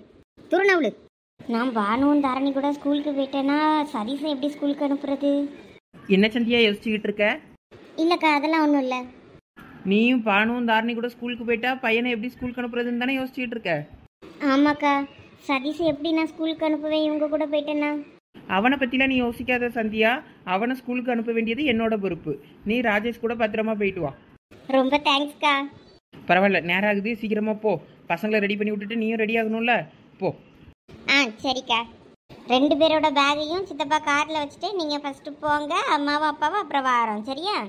சரி டைம் ஆச்சு. பிரதீப் சித்தப்பா வெயிட் பண்ணிட்டு இருப்பாங்க. போங்க. ஐ அப்பா. அப்பா. அப்பா இன்னைக்கு நீங்க எங்க ஸ்கூலுக்கு வருவீங்கல்ல? பத்து மணிக்கெல்லாம் அப்பா ஸ்கூலுக்கு வந்துருவேன். நீங்க முத போங்க. ஆ சரிப்பா. பாய்ப்பா. என்னங்க? அத்தை என்னையும் உங்கள் கூட இன்னைக்கு ஸ்கூலுக்கு பானுக்கும் தாரணிக்கும் பேரண்ட்ஸ் மீட்டிங் இருக்குன்னு சொல்லி என்னையும் போக சொன்னாங்க உங்கள் கூட. இல்ல வேண்டாம். நான் மட்டும் போயிட்டு வந்துடுறேன். நீங்க வேண்டாம். என்ன இவர்? நம்மளை ஸ்கூலுக்கு வர வேண்டாம்னு சொல்கிறாரு அத்தை வேற போன்னு சொன்னாங்க. இப்போ நம்ம என்ன பண்ணுறது ராஜேஷ் கூட அனிதாவும் போறல ஸ்கூலுக்கு? ஆமாங்க அனிதா கிட்ட சொல்லிட்டேன் காலையிலே. சரி சரி. நானும் ராஜேஷ் ஆஃபீஸ்க்கு லேட்டா வந்தா போதும்னு சொல்லியிருக்கேன். அப்பா ஆ வாப்பா ராஜேஷ். அப்பா நான் ஆஃபீஸ்க்கு வர்றேன். வந்துட்டு அதுக்கப்புறமா நான் பேரண்ட்ஸ் டீச்சர்ஸ் மீட்டிங்க்கு போய்க்கிறேன். எப்பா அனிதாவையும் உன் கூட வர சொல்லியிருக்கனே. வேற அவளை எப்படி கூட்டு போவ? வீட்டுக்கு வந்தா கூட்டு போவ? அம்மா ஸ்கூலுக்கு நான் மட்டும் போய்கிடுறேம்மா எப்பயும் நான் மட்டும் தானே போறேன். அதே மாதிரி போயிட்டு வந்துடுறேன். இங்க பாரு ராஜேஷ் இதெல்லாம் ரொம்ப தப்பு. இனிமே சந்தியா தான் உனக்கு அனிதா. இனிமே அவ தான் உன் பிள்ளைங்களுக்கு அம்மா. அதனால அவளையும் ஸ்கூலுக்கு நீ கண்டிப்பா கூட்டிட்டு தான் போகணும். நீ ஒழுங்கா இருந்து அவ கூட ஸ்கூலுக்கு போயிட்டு அதுக்கப்புறம் நீ ஆஃபீஸ் வந்தா போதும். இனிமே இதுதான் உன் லைஃப் அதை புரிஞ்சு நடந்துக்க. சரிப்பா நான் ஸ்கூலுக்கு போயிட்டு அதுக்கப்புறமா ஆஃபீஸ் வரேன். என் பிள்ளை குட் பாயா இருக்கணும் சரியா? சந்தியா நீ ஸ்கூலுக்கு போலையா? ஆ வாங்கக்கா. சதீஷு டிரைவர் என்ன உனக்காக வெயிட் பண்ணிட்டு இருக்காங்க? சீக்கிரம் பேக் எடுத்துட்டு ஸ்கூலுக்கு போ. ஆ சரி பெரியம்மா அம்மா பாய் ஆ பாய்டா தங்கம். நீ பானு தாரணி கூட ஸ்கூலுக்கு போயிருப்பேன்னு பார்த்தா இங்க இருக்க? இல்லைக்கா என் வீட்டுக்காரங்க கிட்ட கேட்டேன். அத்தை இப்படி போக சொன்னாங்கன்னு. ஆனால் அவங்க எந்த பதிலும் சொல்லாமல் போயிட்டாங்க. சரி ஒருவேளை அவங்க நான் வர வேண்டாம்னு நினைக்காங்களோ என்னமோ தெரியலன்னு அப்படி இருக்கேன். ஐயோ அத்தை சத்தம் போட போறாங்க. நீ ஒழுங்கா ஸ்கூலுக்கு ரெடி ஆகு. எப்படியும் ராஜேஷ் உன்னையும் கூப்பிட்டு போவாரு. அத்தையும் மாமாவும் சும்மா இருக்க மாட்டாங்க. ஏன்னா இப்போதானே உங்களுக்கு கல்யாணம் ஆயிருக்கு. ஸ்கூல்லையும் பானுக்கும் தாரணிக்கும் இதுதான் அம்மான்னு தெரியணும்ல. அதனால எப்படி இந்த பேரண்ட்ஸ் டீச்சர்ஸ் மீட்டிங்க்கு உன்னைய அனுப்பணும்னு தான் பேசிட்டு இருந்தாங்க. அதனால அனுப்பி விடுவாங்க ராஜேஷ் கூட. நீ ரெடியா இரு எதுக்கும். ஐயோ அப்படியாக்கா? நான் வேற அவங்க ஒன்றும் சொல்லிட்டு போகலன்னதும் அப்போ நான் வர வேண்டாம்னு நினைக்கிறாங்கன்னு நினச்சிட்டு நான் பாட்டுக்கு இருந்துட்டேன். சீக்கிரம் போ போய் ரெடியாயிரு ஆ சரிக்கா. சரி நான் போயிட்டு கிச்சனில் வேலையை பார்க்குறேன் என்ன இவங்க இப்படி சொல்லிட்டு போகிறாங்க அவர் எதுவுமே சொல்லாமல் போயிட்டாரு ஆஃபீஸ்க்கு அவர் ஏதாவது வாய் திறந்து பேசினா தானே நமக்கு புரியும். எதுவுமே பேசலன்னா நமக்கு என்ன தெரியும்? சரி நாம் எதுக்கும் ரெடியாக இருப்போம். இந்த அம்மாவும் அப்பாவும் ஏன் தான் இப்படி பண்றாங்களோ தெரியல. எனக்கு தான் பெரிய தலைவலியா இருக்கு. இப்போ இவங்களை எப்படி கூப்பிடுறது ஸ்கூலுக்கு வாங்கன்னு? குளிச்சிட்டு இருக்காங்க போல தெரியுது. சரி அப்போ நம்ம வெளியே போய் வெயிட் பண்ணலாம். அவங்க குளிச்சுட்டு வரட்டும். சீக்கிரம் ரெடி ஆயிடணும் அவர் வந்தாருன்னா சரின்னு கிளம்பிடணும். வேற வரேன்னு சொல்லிட்டு இன்னும் ரெடி ஆகாமல் இருக்கான்னு நினச்சிடுவாரு இவளுக்கு எத்தனை முறை தான் சொல்கிறது இந்த மாதிரி துணி போடாதுன்னு. நம்ம சொன்னால் ஒரு பேச்சு கேட்க போகிறதில்ல ஏம்மா பிரீத்தி? ஆ சொல்லுங்கட்ட பிரதீப் எங்கம்மா ஆஃபீஸ் போயிட்டானா? ஆ ஆமாத்த அவன் அப்பவே போயிட்டானே. பசங்களை கொண்டு ஸ்கூலில் விட்டுட்டு அப்படியே ஆஃபீஸ் போகிறேன்னு சொல்லிட்டு. என்னது அவனா? புருஷனை பார்த்து அவன் இவன் தான் கூப்பிடுவியோ? ம் ஆமாத்த புருஷனை இப்படியா கூப்பிடுறது? அவன் இவன் பேர் சொல்லி கூப்பிடுறது? இதெல்லாம் என்ன நல்ல பழக்கமா? அப்படியெல்லாம் கூப்பிடக்கூடாது. ஏன் சொல்லிக்கிட்டே இருக்கேன் ஏன் நோனி கேள்வி கேப்பா பிரீத்தி இங்கே பாருமா வீட்டுக்காரெல்லாம் பேர் சொல்லி கூப்பிடக்கூடாது. கல்யாணத்துக்கு முன்னாடி நீ எப்படி வேணாலும் இருந்திருக்கலாம். இனிமேல் கல்யாணம் ஆகி வந்தாச்சுல இனிமே பிரதீப்பை பேர் சொல்லி கூப்பிடக்கூடாது. ஏன்க்கா அதெல்லாம் அப்படிதான். பிரதீப்பை இனிமேல் வாங்க போங்க அவரு இவருன்னு அடுத்தவங்ககிட்ட சொல்லும்போது அப்படிதான் சொல்லணும். நீயும் கூப்பிடும்போது அப்படிதான் கூப்பிடணும். அவரு இவருன்னு கூப்பிடுறதுக்கு பதிலாக பேர் சொல்லி கூப்பிடுறதே அழகா இருக்குக்கா. எது? ஆமாத்த. அது என்ன அவரு இவருன்னுகிட்டு. அது நல்லாவே இல்லை. பிரீத்தி நீ முத வா கிச்சனுக்கு வா. அக்கா அக்கா எதுக்கு இப்படி இழுத்துட்டு போறீங்க? நீ முத கிச்சனுக்கு வா சொல்றேன். என்னப்பா ராஜேஷ் சனித்த ரெடி ஆயிட்டலாம் இல்லம்மா அந்த ரெடி ஆகிட்டு இருக்காங்க. அவகிட்ட நான் காலையில ரெடி ஆயிருன்னு சொன்னனே. அவ இன்னுமா கிளம்பாம இருக்கா? இந்த சரி ஓகேவா இல்ல வேற கட்டலாமா? ம் இந்த சரி ஓகே ரெடி ஆயிட்டீங்களா சந்தியா? போலாமா? ஆ போலாங்க. என்ன ராஜேஷ் உன் பொண்டாட்டி கிளம்புனாலா இல்லையா? ஆ இதோ ரெடி ஆயிட்டேன் த சரி ரெண்டு பேரும் பார்த்து பத்திரமா போயிட்டு வாங்க. ஆ சரி த போயிட்டு வரேம்மா. இவர் எப்போ வந்து துணி மாத்தினாரு? இவர் ரெண்டு பொண்ணுங்களும் என்ன கிளாஸ் படிக்கிறாங்கன்னே நமக்கு தெரியாதே. இப்போ எப்படி கேட்குறது இவர்கிட்ட? சந்தியாவுக்கு நம்ம ரெண்டு பொண்ணுங்களும் என்ன ஸ்டாண்டர்ட் படிக்கிறாங்கன்னே தெரியாது. இவங்க ஸ்கூலுக்கு போய் திரு திருன்னு முடிக்க தான் போறாங்க. இவங்க கிட்ட இப்பவே சொல்லிடலாம். ஆமா அதான் நல்லது. என்னங்க? சரி சொல்லுங்க. என்னமோ சொல்ல வந்தீங்களே. இல்ல நீங்க சொல்லுங்க. நீங்க என்னமோ சொல்ல வந்தீங்க. அணுவும் தாரணியும் என்ன கிளாஸ் படிக்கிறாங்க? Anu second standard Dharani third standard ஆ சரிங்க. தேங்க்ஸ்ங்க நானும் இதை சொல்றதுக்கு தான் உங்களை கூப்பிட்டேன்.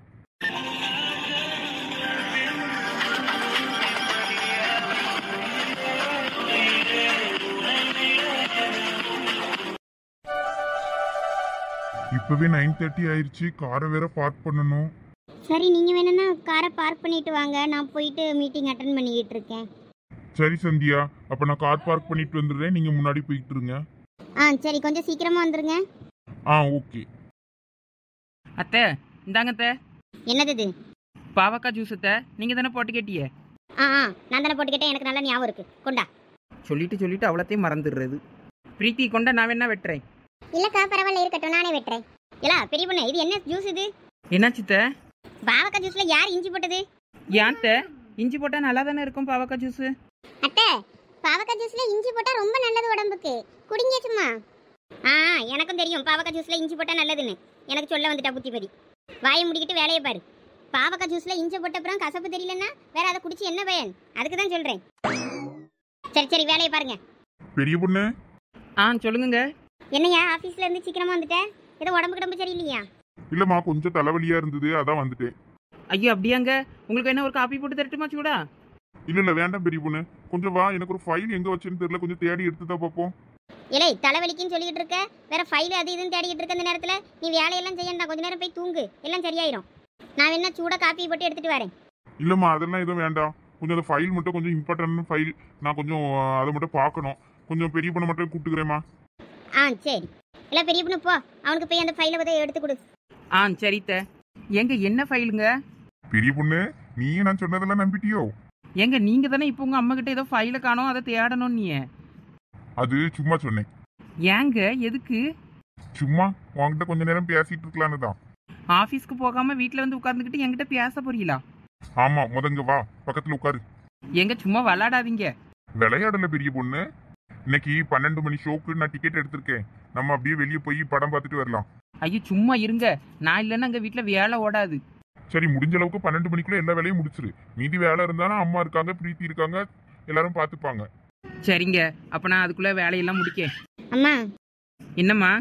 அம்மா எனக்கு ஸ்கூல் ப்ராஜெக்ட்லாம் முடிக்கணுமா எனக்கு கொஞ்சம் ஹெல்ப் பண்ணுவீங்களா நீங்கள் ஆ சரி. அம்மா வேலையெல்லாம் முடிச்சிட்டு வந்து உனக்கு ஹெல்ப் பண்ணுறேன் ஆ சரிம்மா. தேங்க்ஸ்மா சரி போயா போய் படி. ஆ சரிம்மா. எங்க பாத்தீங்களா நம்ம பையனுக்கு ப்ராஜெக்ட் முடிக்கணுமா? அவன் நான் இருந்தால் தான் முடியுங்க. இப்போ எப்படிங்க நம்ம படத்துக்கு போகிறது வேண்டாங்க நம்ம இன்னொரு நாள் பார்த்துக்கிடலாம் சரி விடு இந்த டிக்கெட்டை கேன்சல் பண்றேன். மூணு மணி ஷோக்கு புக் பண்ணலாம். இல்லைங்க வேண்டாம். சொன்னா கேளுங்க. இங்கே வீட்டில் நிறைய வேலை கிடக்குங்க. நான் இல்லாமல் ஒரு வேலையும் ஓடாதுங்க. இங்க பாரு பெரிய பொண்ணு.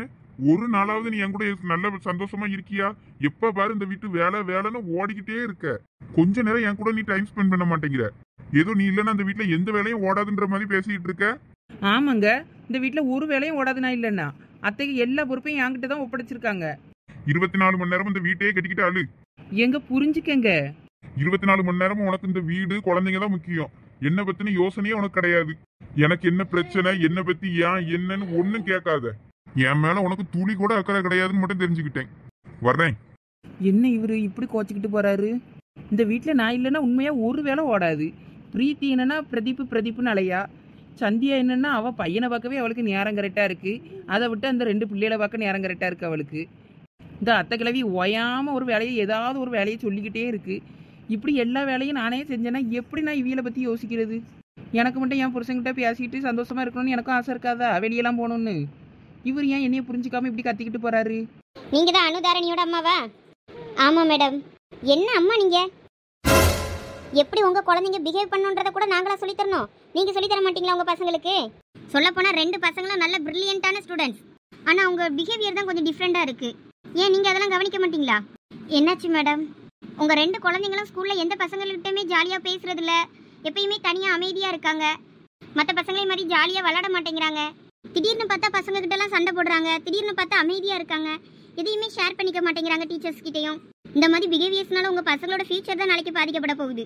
இதுக்கெல்லாம் நான் காரணம் உங்கள் பசங்களை சொல்ல மாட்டேன். பேரண்ட்ஸ் தான் முக்கிய காரணமாக இருக்கும் இதுக்கெல்லாம். ஏன்? நீங்கள் வீட்டில் எதுவும் கவனிக்க மாட்டீங்களா பசங்களை? நீங்கள் ஏன் இந்த டீச்சர் இப்படி பேசுகிறாங்க நீங்கள் என்னைய தப்பாக கூட நினைக்கலாம்.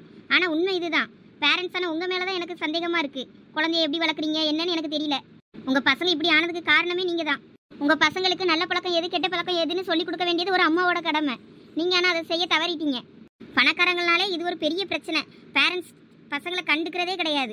முக்கியமாக இந்த அம்மாமார்கள் அவங்களுக்கு எடுக்கிற துணியில கூட பத்து கடை ஏறி இறங்குவாங்களே தவிர்த்து பசங்களை ஒரு அஞ்சு நிமிஷம் அவங்கள கேர் பண்ணிக்கணும்னு நினைக்க கூட மாட்டாங்க. மேடம் ஸ்டாப் பண்ணுங்க போதும். மேடம் நீங்க என்ன நினைச்சிட்டு இருக்கீங்களோ எல்லாமே தப்பு மேடம் நீங்கள் என்ன சொல்கிறீங்க ஆமா மேடம் உண்மையை சொல்லணும்னா இவங்களுக்கும் எனக்கும் இப்போ ரெண்டு மூணு நாளைக்கு முன்னாடி தான் கல்யாணம் நடந்தது. அதனால இவங்களுக்கும் அதுக்கும் எந்த சம்மந்தமும் இல்லை. பசங்க இப்படி பிஹேவ் பண்றாங்கன்னா அதுக்கு முக்கிய காரணம் நானா தான் இருக்கும். இவங்க இப்பதான் என் பொண்ணுங்களுக்கு புதுசா அம்மாவா இருக்காங்க. அதனால இவங்கள எந்த குறையும் சொல்லாதீங்க. பானு தாரணியோட அம்மா இறந்துட்டாங்க. அவங்க இப்போ உயிரோட இல்லை. சாரி சார் ஓகே மேடம் இப்போ பசங்களை நான் தான் கொஞ்ச நாளாக கவனிச்சிட்டு இருந்தேன். பசங்க ஏதாவது தப்பு பண்ணியிருந்தாங்கன்னா அதுக்கு முழுக்க முழுக்க காரணம் நானாக தான் மேடம் இருப்பேன். அதனால அவங்கள எதுவும் குறை சொல்லாதீங்க. ஓ okay sir sorry madam madam இன்னைக்கு நான் உங்களுக்கு ஒரு வாக்குறுதி தர்றேன் மேடம். பானுவும் தாரணியும் இனிமே நல்லபடியாக இருப்பாங்க நல்லா படிப்பாங்க. அவங்க மேலே எந்த குறையும் சொல்ல முடியாத அளவுக்கு நான் நல்லபடியாக பார்த்துக்கிடுவேன் மேடம். நான் அவங்க ரெண்டு பேரோட அம்மா. இனிமே இந்த மாதிரி எந்த குறையும் நீங்கள் சொல்ல முடியாத அளவுக்கு நான் பார்த்துக்கிடுவேன் மேடம். இனிமே பானுவும் தாரணியும் என்னோட பொண்ணுங்க. அவங்கள நான் எப்படி வளர்க்குறேன்னு மட்டும் பாருங்க மேடம். நல்லதுமா? சரி நீங்கள் போயிட்டு வாங்க. தேங்க்யூ மேடம் என்னப்பா ராஜேஷ்? பேரண்ட்ஸ் டீச்சர்ஸ் மீட்டிங்க்கு போயிட்டு வந்தாச்சா? ஆமாம்மா போயிட்டு வந்தாச்சு. ம் கண்டிப்பாக பிரின்சிபல் பாராட்டியிருப்பாங்களே. எனக்கு நல்லா தெரியும். ஏன்னா நம்ம பசங்களுக்கு எப்படி நடந்துக்கிடணும்னு சொல்லி கொடுத்துருக்கோம்ல. அதே போல் நம்ம பசங்களும் எல்லார்கிட்டையும் நல்ல மரியாதையாக நடந்துட்டு இருந்திருப்பாங்க. அதனால நிச்சயமாக உங்கள் ரெண்டு பேரையும் பாராட்டுறதுக்கு தான் வர சொல்லியிருப்பாங்கன்னு நான் நினைக்கிறேன். இல்லம்மா பானுவும் தாரணியும் கம்ப்ளைண்ட் பண்றதுக்கு தான் பிரின்சிபல் வர சொல்லியிருக்காங்க. என்னப்பா சொல்ற ராஜேஷ்? ஆமாப்பா. ஏன்பா டெஸ்ட்டில் ஏதோ மார்க் இருக்கு கம்மியாக வாங்கியிருக்குது விட நம்ம பிள்ளைகள். இல்லம்மா. அப்புறம் எதுக்குப்பா உன்னைய கம்ப்ளைண்ட் பண்ண கூப்பிட்டாங்க? மார்க்கெல்லாம் ஒன்றும் பிரச்சனை இல்லைம்மா. அதெல்லாம் நல்லா படிக்கிறாங்களாம். அப்புறம் என்னப்பா? நம்ம பானுவும் தாரணியும் பிஹேவியர்ஸ் தான் கொஞ்சம் சரியில்லைன்னு சொல்லி சொன்னாங்க. என்னப்பா சொல்கிற ஆமாம்மா. நம்ம ரெண்டு பசங்களும் எந்த பசங்க கூடயும் சேர்ந்து விளையாடுறது இல்லையாம் பேசுறது இல்லையாம். எப்பயும் தனியாவே இருக்காங்களாம். திடீர்னு சண்டை போடுறாங்களாம். இதுல என்ன இருக்கு ராஜேஷ்? இது ஒரு பெரிய விஷயம்னா அவ கூப்பிட்டு விட்டாங்க. பசங்க வளர வளர அது பாட்டுக்கு கத்துக்க போறாங்க நாலு பேரை பார்த்து. அதானே? அவங்களுக்கா விவரம் தெரிஞ்சா கத்துக்க போறாங்க. ஆமாப்பா சரிதான். நீங்க ரெண்டு பேரும் அதை நினைச்சு வருத்தப்படாதீங்கப்பா. நான் நம்ம பசங்க கிட்ட நான் பேசுறேன். அவங்களுக்கு கொஞ்சம் தெளிவா எடுத்து சொன்னா புரிஞ்சுப்பாங்க. நான் உங்களுக்கு புரிய வைக்கிறேன்ப்பா. மற்ற பசங்களோட எப்படி இன்ட்ராக்ட் ஆகுறதுன்னு. சரிப்பா ராஜேஷ் கொஞ்சம் பாத்துக்க. ஆ நான் பாத்துக்கிறேன்ப்பா. இனிமே எந்த கம்ப்ளைண்ட்டும் வராது. இல்லைங்க. பிரின்சிபல் சொன்னது சரிதான். தப்பு பானு மேலேயும் தாரணி மேலேயும் இல்லைங்க. வளர்த்த விதத்துல தான் இருக்கு. என்ன சொல்ல வரீங்க சந்தியா? அப்ப எங்க வளர்ப்புல தான் தப்பு இருக்குன்னு சொல்ல வரீங்களா? இல்லைங்க நான் அப்படி சொல்ல வரல. சின்ன பசங்கள சின்ன பசங்க மாதிரி கொஞ்சம் விடணும். அவங்கள டிசிப்ளினாக வளர்க்குறேன்னு சொல்லி நிறைய ரூல்ஸ் அண்ட் ரெகுலேஷன்ஸ் போட்டு அவங்கள கட்டுப்பாடாக வளர்த்தோன்னா அவங்க அதை வெளியில தான் பிஹேவ் பண்ணுவாங்க வேற மாதிரி. குழந்தைங்கள கொஞ்சம் குழந்தைங்களாவே இருக்க விடுங்க. அப்போ தான் அவங்க ஃப்ரீயாக எல்லாத்தையும் ஷேர் பண்ணுவாங்க ஜாலியாக இருப்பாங்க. ஆனால் இங்கே அந்த பசங்க எல்லா டிசிப்ளினோட இருக்கணும்னு சொல்லி அவங்க மேலே எல்லா பொறுப்பையும் ஒப்படைச்சா அந்த பசங்க என்ன பண்ணும்? சின்ன குழந்தைங்க இந்த வயசுல தான் எந்த பொறுப்பும் எந்த கடமையும் இல்லாமல் சந்தோஷமா விளாடி சந்தோஷமா இருக்க முடியும். ஆனால் நீங்கள் என்ன பண்ணுறீங்க அந்த பசங்க கட்டுப்பாடோட இருக்கணும் டிசிப்ளினாக இருக்கணும்னு ரொம்ப அவங்கள ஃபோர்ஸ் பண்ணுறீங்க பசங்களுக்கு நல்ல பழக்கத்தை சொல்லி வளர்க்குறதுல என்ன தப்பு இருக்கு? சொல்லி கொடுக்கலாங்க. ஆனால் அதை ஆர்டர் போடுற மாதிரி இருக்கக்கூடாதுல்ல. இப்ப என்ன சொல்ல வரீங்க? நாங்க எந்த பசங்க கூடயும் எங்க பசங்களை சேரக்கூடாதுன்னு சொல்லி வச்சிருக்கோம்னு சொல்ல வரீங்களா? இல்லை நான் அப்படி சொல்ல வரல. நான் என்ன சொல்ல வரேன்னா? போதும் நிப்பாட்டுங்க. நீங்க எதுவும் பேச தேவையில்ல. பிரின்சிபல் சொன்னதெல்லாம் ஏத்துக்கிறேன். ஆனா பசங்களோட வளர்ப்பு சரியில்லைன்னு சொன்னதை நான் எப்பயும் ஏத்துக்க மாட்டேன். இங்க பாருங்க பிரின்சிபல் சொன்னதெல்லாம் நான் ஒத்துக்கிறேன். ஆனா அதுக்காண்டி எங்க வளர்ப்பு சரியில்லைன்னு சொன்னா அதெல்லாம் நான் ஒத்துக்கிட முடியாது. இல்லைங்க நான் அப்படி சொல்லலை. அப்பா எனக்கு ஆபீஸ்க்கு லேட் ஆகுது. நான் ஆபீஸ்க்கு போறேன். ஆ சரிப்பா. இங்க பாரு. நீ இந்த வீட்டுக்கு கல்யாணம் ஆகி வந்து ரெண்டு மூணு நாள் தான் ஆகுது. ஆனால் அதுக்குள்ளே எங்கள் குடும்ப கௌரவத்தை பார்த்து நீ விமர்சனம் பண்ணுற எங்களோட வளர்ப்பு சரியில்லைன்னு. இங்கே பாரு நீ ஒரு பிள்ளை தான் பெற்றிருக்க நான் மூணு பிள்ளைய பெற்று வளர்த்துருக்கேன். எனக்கு தெரியாதா? எப்படி பிள்ளைகளை வளர்க்கணும்னு? என் பிள்ளைகள் மூணும் படித்து வேலைக்கு போய் நல்ல பொறுப்பில் இருக்காங்க. ஆஃபீஸ்லேயும் எல்லார்கிட்டையும் நல்ல பேர் வாங்குறாங்க. அந்த மாதிரி பிள்ளைங்க எல்லாம் நான் வளர்த்து வச்சுருக்கேன். அப்படி இருக்க எங்களை பார்த்து நீ குறை சொல்கிற முத நீ உன் பிள்ளைக்கு நல்ல பழக்க வழக்கத்தை கற்றுக் கொடுக்க பாரு. நீ ஒன்றும் எங்கள் குடும்பத்தை குறை சொல்லாத. அத்தை நீங்கள் தப்பாக புரிஞ்சிட்டு இருக்கீங்க. நான் இப்போ யாரையும் குறை சொல்லலை. அப்படியா? இப்போ கொஞ்ச நேரத்துக்கு முன்னாடி தான் சொன்னேன் எங்கள் வளர்ப்பு சரியில்லைன்னு? பானுவும் தாரணியும் கெட்டு போயிட்டாங்க எங்கள் வளர்ப்புனால தானே இல்லத்த நான் அப்படி சொல்ல வரல. வேற எப்படி சொல்ல வந்த? இல்லத்த குழந்தைங்க ஸ்கூலில் எந்த பசங்க கூடயும் சேராமல் இருக்காங்க. குழந்தைங்கள பயமுறுத்தி வளர்க்குறதோட இந்த சொசைட்டிக்கு ஏற்ற மாதிரி கொஞ்சம் புரிஞ்சுக்கிட்டு அவங்களுக்கு சொன்னால் புரிஞ்சுப்பாங்கன்னு சொல்ல வந்தேன். போதும் நிறுத்து. கொஞ்சம் வாய் அடக்கி பேசு. இந்த பாருமா மருமகளே. நீ இந்த வீட்டுக்கு புதுசு. அதனால உனக்கு இந்த வீட்டோட கௌரவம் பழக்க வழக்கங்கள்லாம் உனக்கு தெரியாது. நாங்க எங்களோட மூணு பசங்களையும் இந்த மாதிரி வளர்த்ததுனாலதான் இன்னைக்கு மூணு பேரும் இவ்வளவு ஒற்றுமையா நல்ல பசங்களா இருக்காங்க. பொறுப்பா. நாங்க கொஞ்சம் பசங்களை கண்டிப்பா வளர்க்கறதுனாலதான் எங்க குடும்ப கௌரவம் இன்னும் நிலைச்சு நிக்குது. நீ சொல்ற மாதிரிலாம் நாங்க பசங்களை விட்டுருந்தோம்னா இன்னைக்கு மூணு பசங்களும் வேற வேற திசைக்கு பிரிஞ்சு தான் போயிருப்பாங்க. நீ இப்பதானே இந்த குடும்பத்துக்கு வந்திருக்க? உனக்கு எங்க குடும்பத்தை பத்திலாம் எதுவும் தெரியாது. கௌரவத்தை பத்தி எதுவும் தெரியாது. நீ கொஞ்சம் வித்தியாசமான குடும்பத்துல இருந்து வந்திருக்கல்ல? அப்படிதான் இருக்கும். அதனால உன்னோட எண்ணங்களும் அப்படி இப்படிதான் இருக்கும். அதை ஒன்றும் குறை சொல்ல முடியாது. இப்ப நீ இந்த குடும்பத்தோட மருமக. அதனால இனிமே நீ இந்த குடும்பத்துக்கு ஏத்த மாதிரி மாத்திக்க. உன்னை மாதிரி மாத்தணும்னு மத்தவங்கள மாத்தணும்னு நீ நினைக்காத. ராஜேஷோட முதல் மனைவி கூட இப்படிதான். ஃபர்ஸ்ட் இந்த குடும்பத்துக்கு ஏத்த மாதிரி மாறாம தான் இருந்தா கொஞ்ச நாள். அதுக்கப்புறம் அவளே பழகிக்கிட்டா. நீயும் அந்த மாதிரி மாற பழகிக்க. குழந்தைங்க மண்ணு மாதிரி. நம்ம எப்படி பயன்படுத்துறோமோ அப்படிதான் அவங்க வருவாங்க. நம்ம தான் இந்த குடும்ப கௌரவத்துக்காக ஒழுங்கா வளர்க்கணும். நீங்க சொன்னது நூறு சதவீதம் கரெக்டுங்க மருமகளே நீ உள்ள போமா சரி மாமா. ஏங்க இப்போ அவளை போக சொன்னீங்க? நான் அவகிட்ட பேசிட்டு இருந்தேன்ல. இங்க பாரு காயத்ரி நான் அவட்ட எல்லாம் தெளிவா பேசியாச்சு. இதுக்கப்புறம் நீ அவளை மறுபடியும் நீ காயப்படுத்துறன்னு வையி. ராஜேஷ் வாழ்க்கை தான் பாதிக்கப்படும் ஞாபகம் வச்சுக்க. இதே மாதிரி நீ எல்லா மருமகட்டையும் கோவமாவே பேசுனா ஒரு மருமகளும் நாளை பின்ன உன்னையும் மதிக்க மாட்டாங்க. சாரிங்க ஏதோ கொஞ்சம் கோவத்தில் பேசிட்டேன். முடிஞ்ச அளவுக்கு உன் மருமகள்கிட்ட நல்லா அன்பா பேசி இருக்க பாரு. நீ தான் அந்த வீட்டுக்கு பெரிய மனுச்சு புரிஞ்சு நடந்துக்க காயத்ரி? அண்ணி அண்ணி அண்ணன் கூட நல்லா லாங் டிரைவ்ல என்ஜாய் பண்ணீங்களா? அது எப்படி என்ஜாய் பண்ணாம இருப்பீங்க? ஹீரோ மாதிரி அண்ணனை பக்கத்துல வச்சுக்கிட்டு இந்த ஆரணி ஸ்கூல் வேற லாங்கு நல்லா ஜாலியா லாங் டிரைவ் போயிருப்பீங்க ரெண்டு பேரும். நல்லா பேசுனீங்களா நீ என்ன நீ வெக்கமா? ஆமா ஆமா அண்ணன் கூட போனா வேற வெக்கம் வராதானே செய்யும் அன்னைக்கு. பிரதீப் ஐயோ அப்பா கூப்பிடுறாரு. அண்ணி அப்பா கூப்பிடுறாரு நான் என்னன்னு கேட்டு வந்துடுறேன். பாய் பிரதீப் பிரதீப் கொஞ்சம் நில்லுங்க. என்ன நீ உங்க கன்னத்துல பிரீத்தி கொடுத்த அடையாளம் இருக்கு. அதோட போய் அப்பா கிட்ட மாட்டிக்காதீங்க சொல்லிட்டேன். அடையாளமா? ஆமா. கன்னத்துல தம்மா இருக்கு பாருங்க. ஒச்சுச்சோ நல்ல வேலை நீ அப்பாட்ட இருந்து என்னைய காப்பாத்துனீங்க. ரொம்ப தேங்க்ஸ் நீ ம் சரி பரவாயில்ல இருக்கட்டும். பிரதீப் சரி நீ அப்பா கூப்பிடுறாங்க போயிட்டு வரேன். ஆ சரி. யார் ஃபோன் அடிக்கிறது? அம்மா ஃபோன் பண்ணுறாங்க ஆ அத்தை எப்படி இருக்கீங்க? நல்லா இருக்கீங்களா? ஆ நாங்க நல்லா இருக்கோம்மா எங்களுக்கு தான் உன்னையும் பையனையும் பார்க்கணும்னு ஆசையா இருக்கு. லட்சுமி வர சொல்லி சந்தியாவை பையனை கூப்பிட்டுட்டு ஒரு ரெண்டு நாள் இங்கே தங்கிட்டு போலான்னு. சந்தியா வேணா பிள்ளைய கூட்டிட்டு ரெண்டு நாள் இங்க வந்துட்டு போறியாம்மா. எங்களுக்கும் பிள்ளைய பார்த்த மாதிரி ஆச்சு உன்னையும் பார்த்த மாதிரி இருக்கும்ல. நான் வேணா சம்மந்திட்ட பேசுறேன். இல்லை இல்லை வேண்டாம் அத்தை என்னால் இப்போ அங்கே வர முடியாது அத்தை என்னங்க சந்தியா வர முடியாதுன்னு சொல்றா? என்ன வர முடியாதுன்னு சொல்கிறாளா எங்க கொடு சந்தியா கிட்ட நான் பேசுகிறேன் இந்தாங்க பேசுங்க. சந்தியா என்னம்மா? வர முடியாதுன்னு சொன்னியா அந்த கிட்ட கல்யாணம் ஆன பொண்ணு மறு வீட்டுக்கு வாரது வாஸ்துவம் தானே? இது காலங்காலமாக நடக்குது தானே? அம்மா அப்பா வீட்டுக்கு வாரதும் போகிறதும் நீ என்ன வர முடியேன்னு சொல்கிறா எனக்கு தெரியும்ப்பா அதெல்லாம் பழைய சம்பிரதாயம் தான் ஆனால் ஒரு பொண்ணுக்கு தனியாக முடிவெடுக்கிற எந்த சுதந்திரமும் தான் அந்த உலகத்தில் கிடையாது. அப்புறம் என்ன? உங்கள் குடும்ப கௌரவத்தை நான் எப்படியும் காப்பாற்றுவேன்ப்பா சந்தியா நீ இன்னும் என் மேலே கோபமாவா இருக்க? நீ கல்யாணத்துக்கு சம்மதிக்கணும்னு தான் நான் உன்னைய கட்டாயப்படுத்தினேன். அதுக்காக இன்னும் அந்த கோவத்தை வச்சுக்கிட்டே இருக்கியாக்கும் மனசில்? அன்னைக்கு ஏதோ கோவத்தில் பேசிட்டே நீ கல்யாணத்துக்கு ஒத்துக்கிட மாட்டேங்கன்னு. அதுக்காண்டி இப்படி எங்களை பார்க்கவே வர மாட்டேன் பேசவும் மாட்டேன்னா என்னம்மா அர்த்தம்? எனக்கு இங்கே நிறைய வேலை இருக்குப்பா நான் அப்புறம் பேசுகிறேன் சந்தியா சொல்கிறத கொஞ்சம் கேளு. என்ன லட்சுமி சந்தியா இப்படி கோவப்படுறா? அவ நம்ம கூட இருக்கும்போது நம்ம கஷ்ட நஷ்டத்துல பங்கெடுத்துக்கிட்டா. ஆனா கல்யாணம் ஆகி போன அப்புறமா நம்ம கிட்ட பேச கூட மாட்டேங்க. சரி விடு லட்சுமி அவளுக்கு நம்ம மேலே கோவம். அவளுக்கு சதீஷோட நம்ம கூடவே இருக்கணும்னு விருப்பம்.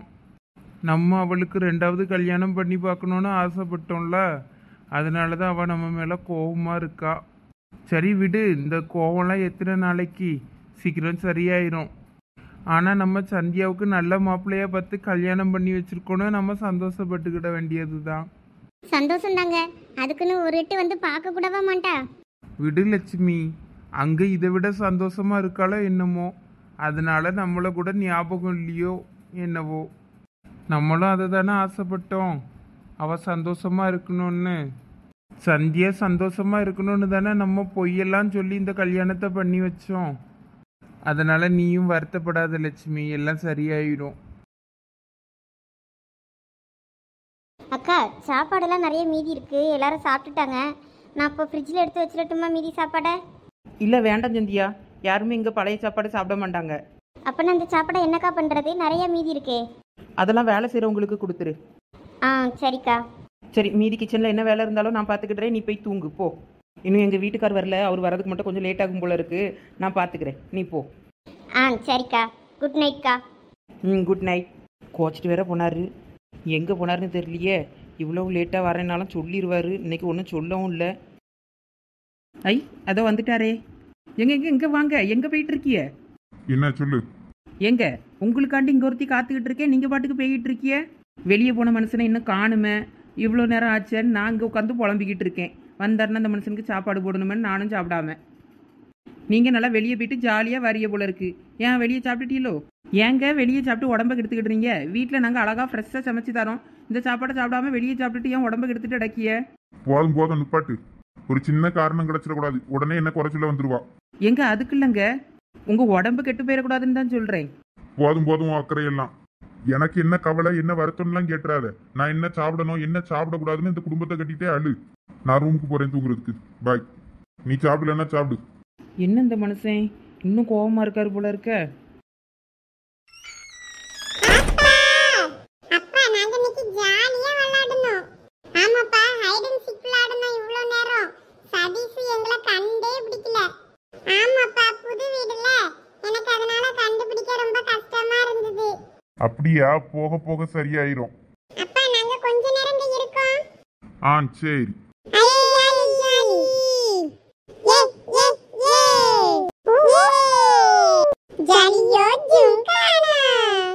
பானு தாரணி நிப்பாட்டுங்க. என்ன பிஹேவியர் இது? இதுதான் நாங்கள் உங்களுக்கு கற்றுக் கொடுத்துருக்க டிசிப்ளினா ஒரு மேனஸ் வேண்டாமா? நேரம் ஆயிட்டில் உங்கள் ரூமில் போய் தூங்குங்க மூணு பேரும். குழந்தைங்களா? நாளைக்கு உங்களை நான் பார்க்குக்கு கூப்பிட்டு போவேண்ணா. ஐ ஜாலி அங்கே நீங்கள் ஓடலாம் ஆடலாம் பாடலாம். சின்ன பசங்களாம் நிறைய பேர் வருவாங்க. அவங்க கூட விளாடலாம். நல்லா ஜம்ப் பண்ணலாம். எல்லாம் பண்ணலாம். ஓகேவா ஏய் சூப்பர். அதெல்லாம் முடியாது. பார்க்குக்கெல்லாம் அனுப்ப முடியாது. போங்க மூணு பேரும் போய் தூங்குங்க. தாரணியும் பானுவும் சொன்னா கேப்பீங்கல்ல?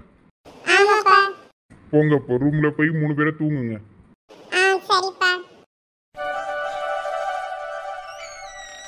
யாருக்கு ஃபோன் அடிக்குது? ஆ சொல்லுங்க சார் அம்மா. என்ன சதீஷ்? மறுபடியும் வந்திருக்க? எனக்கு கார் வேணும். தூங்குற நேரத்தில் உனக்கு எதுக்கு இப்போ காரு? அம்மா எனக்கு இப்ப கார் வேணும். நான் கொஞ்ச நேரம் விளையாடிட்டு அப்புறம் நான் தூங்கிடுவேன். ஒரு நிமிஷம் இருங்க சார் நான் வெளியே வந்து பேசுறேன். எங்க வாய்ஸ் பிரேக் ஆகி பிரேக் ஆகி கேக்குது. ஹலோ சரி இரு. எடுத்துகிட்டு வந்து தருவேன். ஒழுங்கா சேட்டை பண்ணாமல் பானுவும் தரணியும் டிஸ்டர்ப் பண்ணாமல் தூங்கணும். ஆ சரிம்மா. இரு எடுத்துகிட்டு வரேன். ஐ ஊக்கு இதை வச்சு என்ன பண்ணலாம்? ம் ஒரு ஐடியா. நம்ம அப்பா எப்படி மிரட்டுறாரு அப்பப்போ அவருக்கு லைட்டாக ஒரு பனிஷ்மெண்ட் கொடுக்கணும். அவர் உட்கார்ற இடத்துல இந்த ஊக்க ஓப்பன் பண்ணி வச்சுட்டா நறுக்குன்னு குத்தும்ல? நல்ல ஐடியா. ஏ அடியில் இங்கே இரு. பத்திரமா? சேஃப்டி பின்னே. இங்கே இரு. இந்தா இதை வச்சு கொஞ்ச நேரம் விளாடிட்டு தூங்கிடணும். ஆ சரிம்மா. இன்னும் நீ தூங்க போலையா? போ போய் தூங்கு சீக்கிரம். ஆ சரிப்பா. ஞாபகம் வச்சுக்க சதீஷ். சேட்டை பண்ணக்கூடாது. ஆ. என்னாச்சு?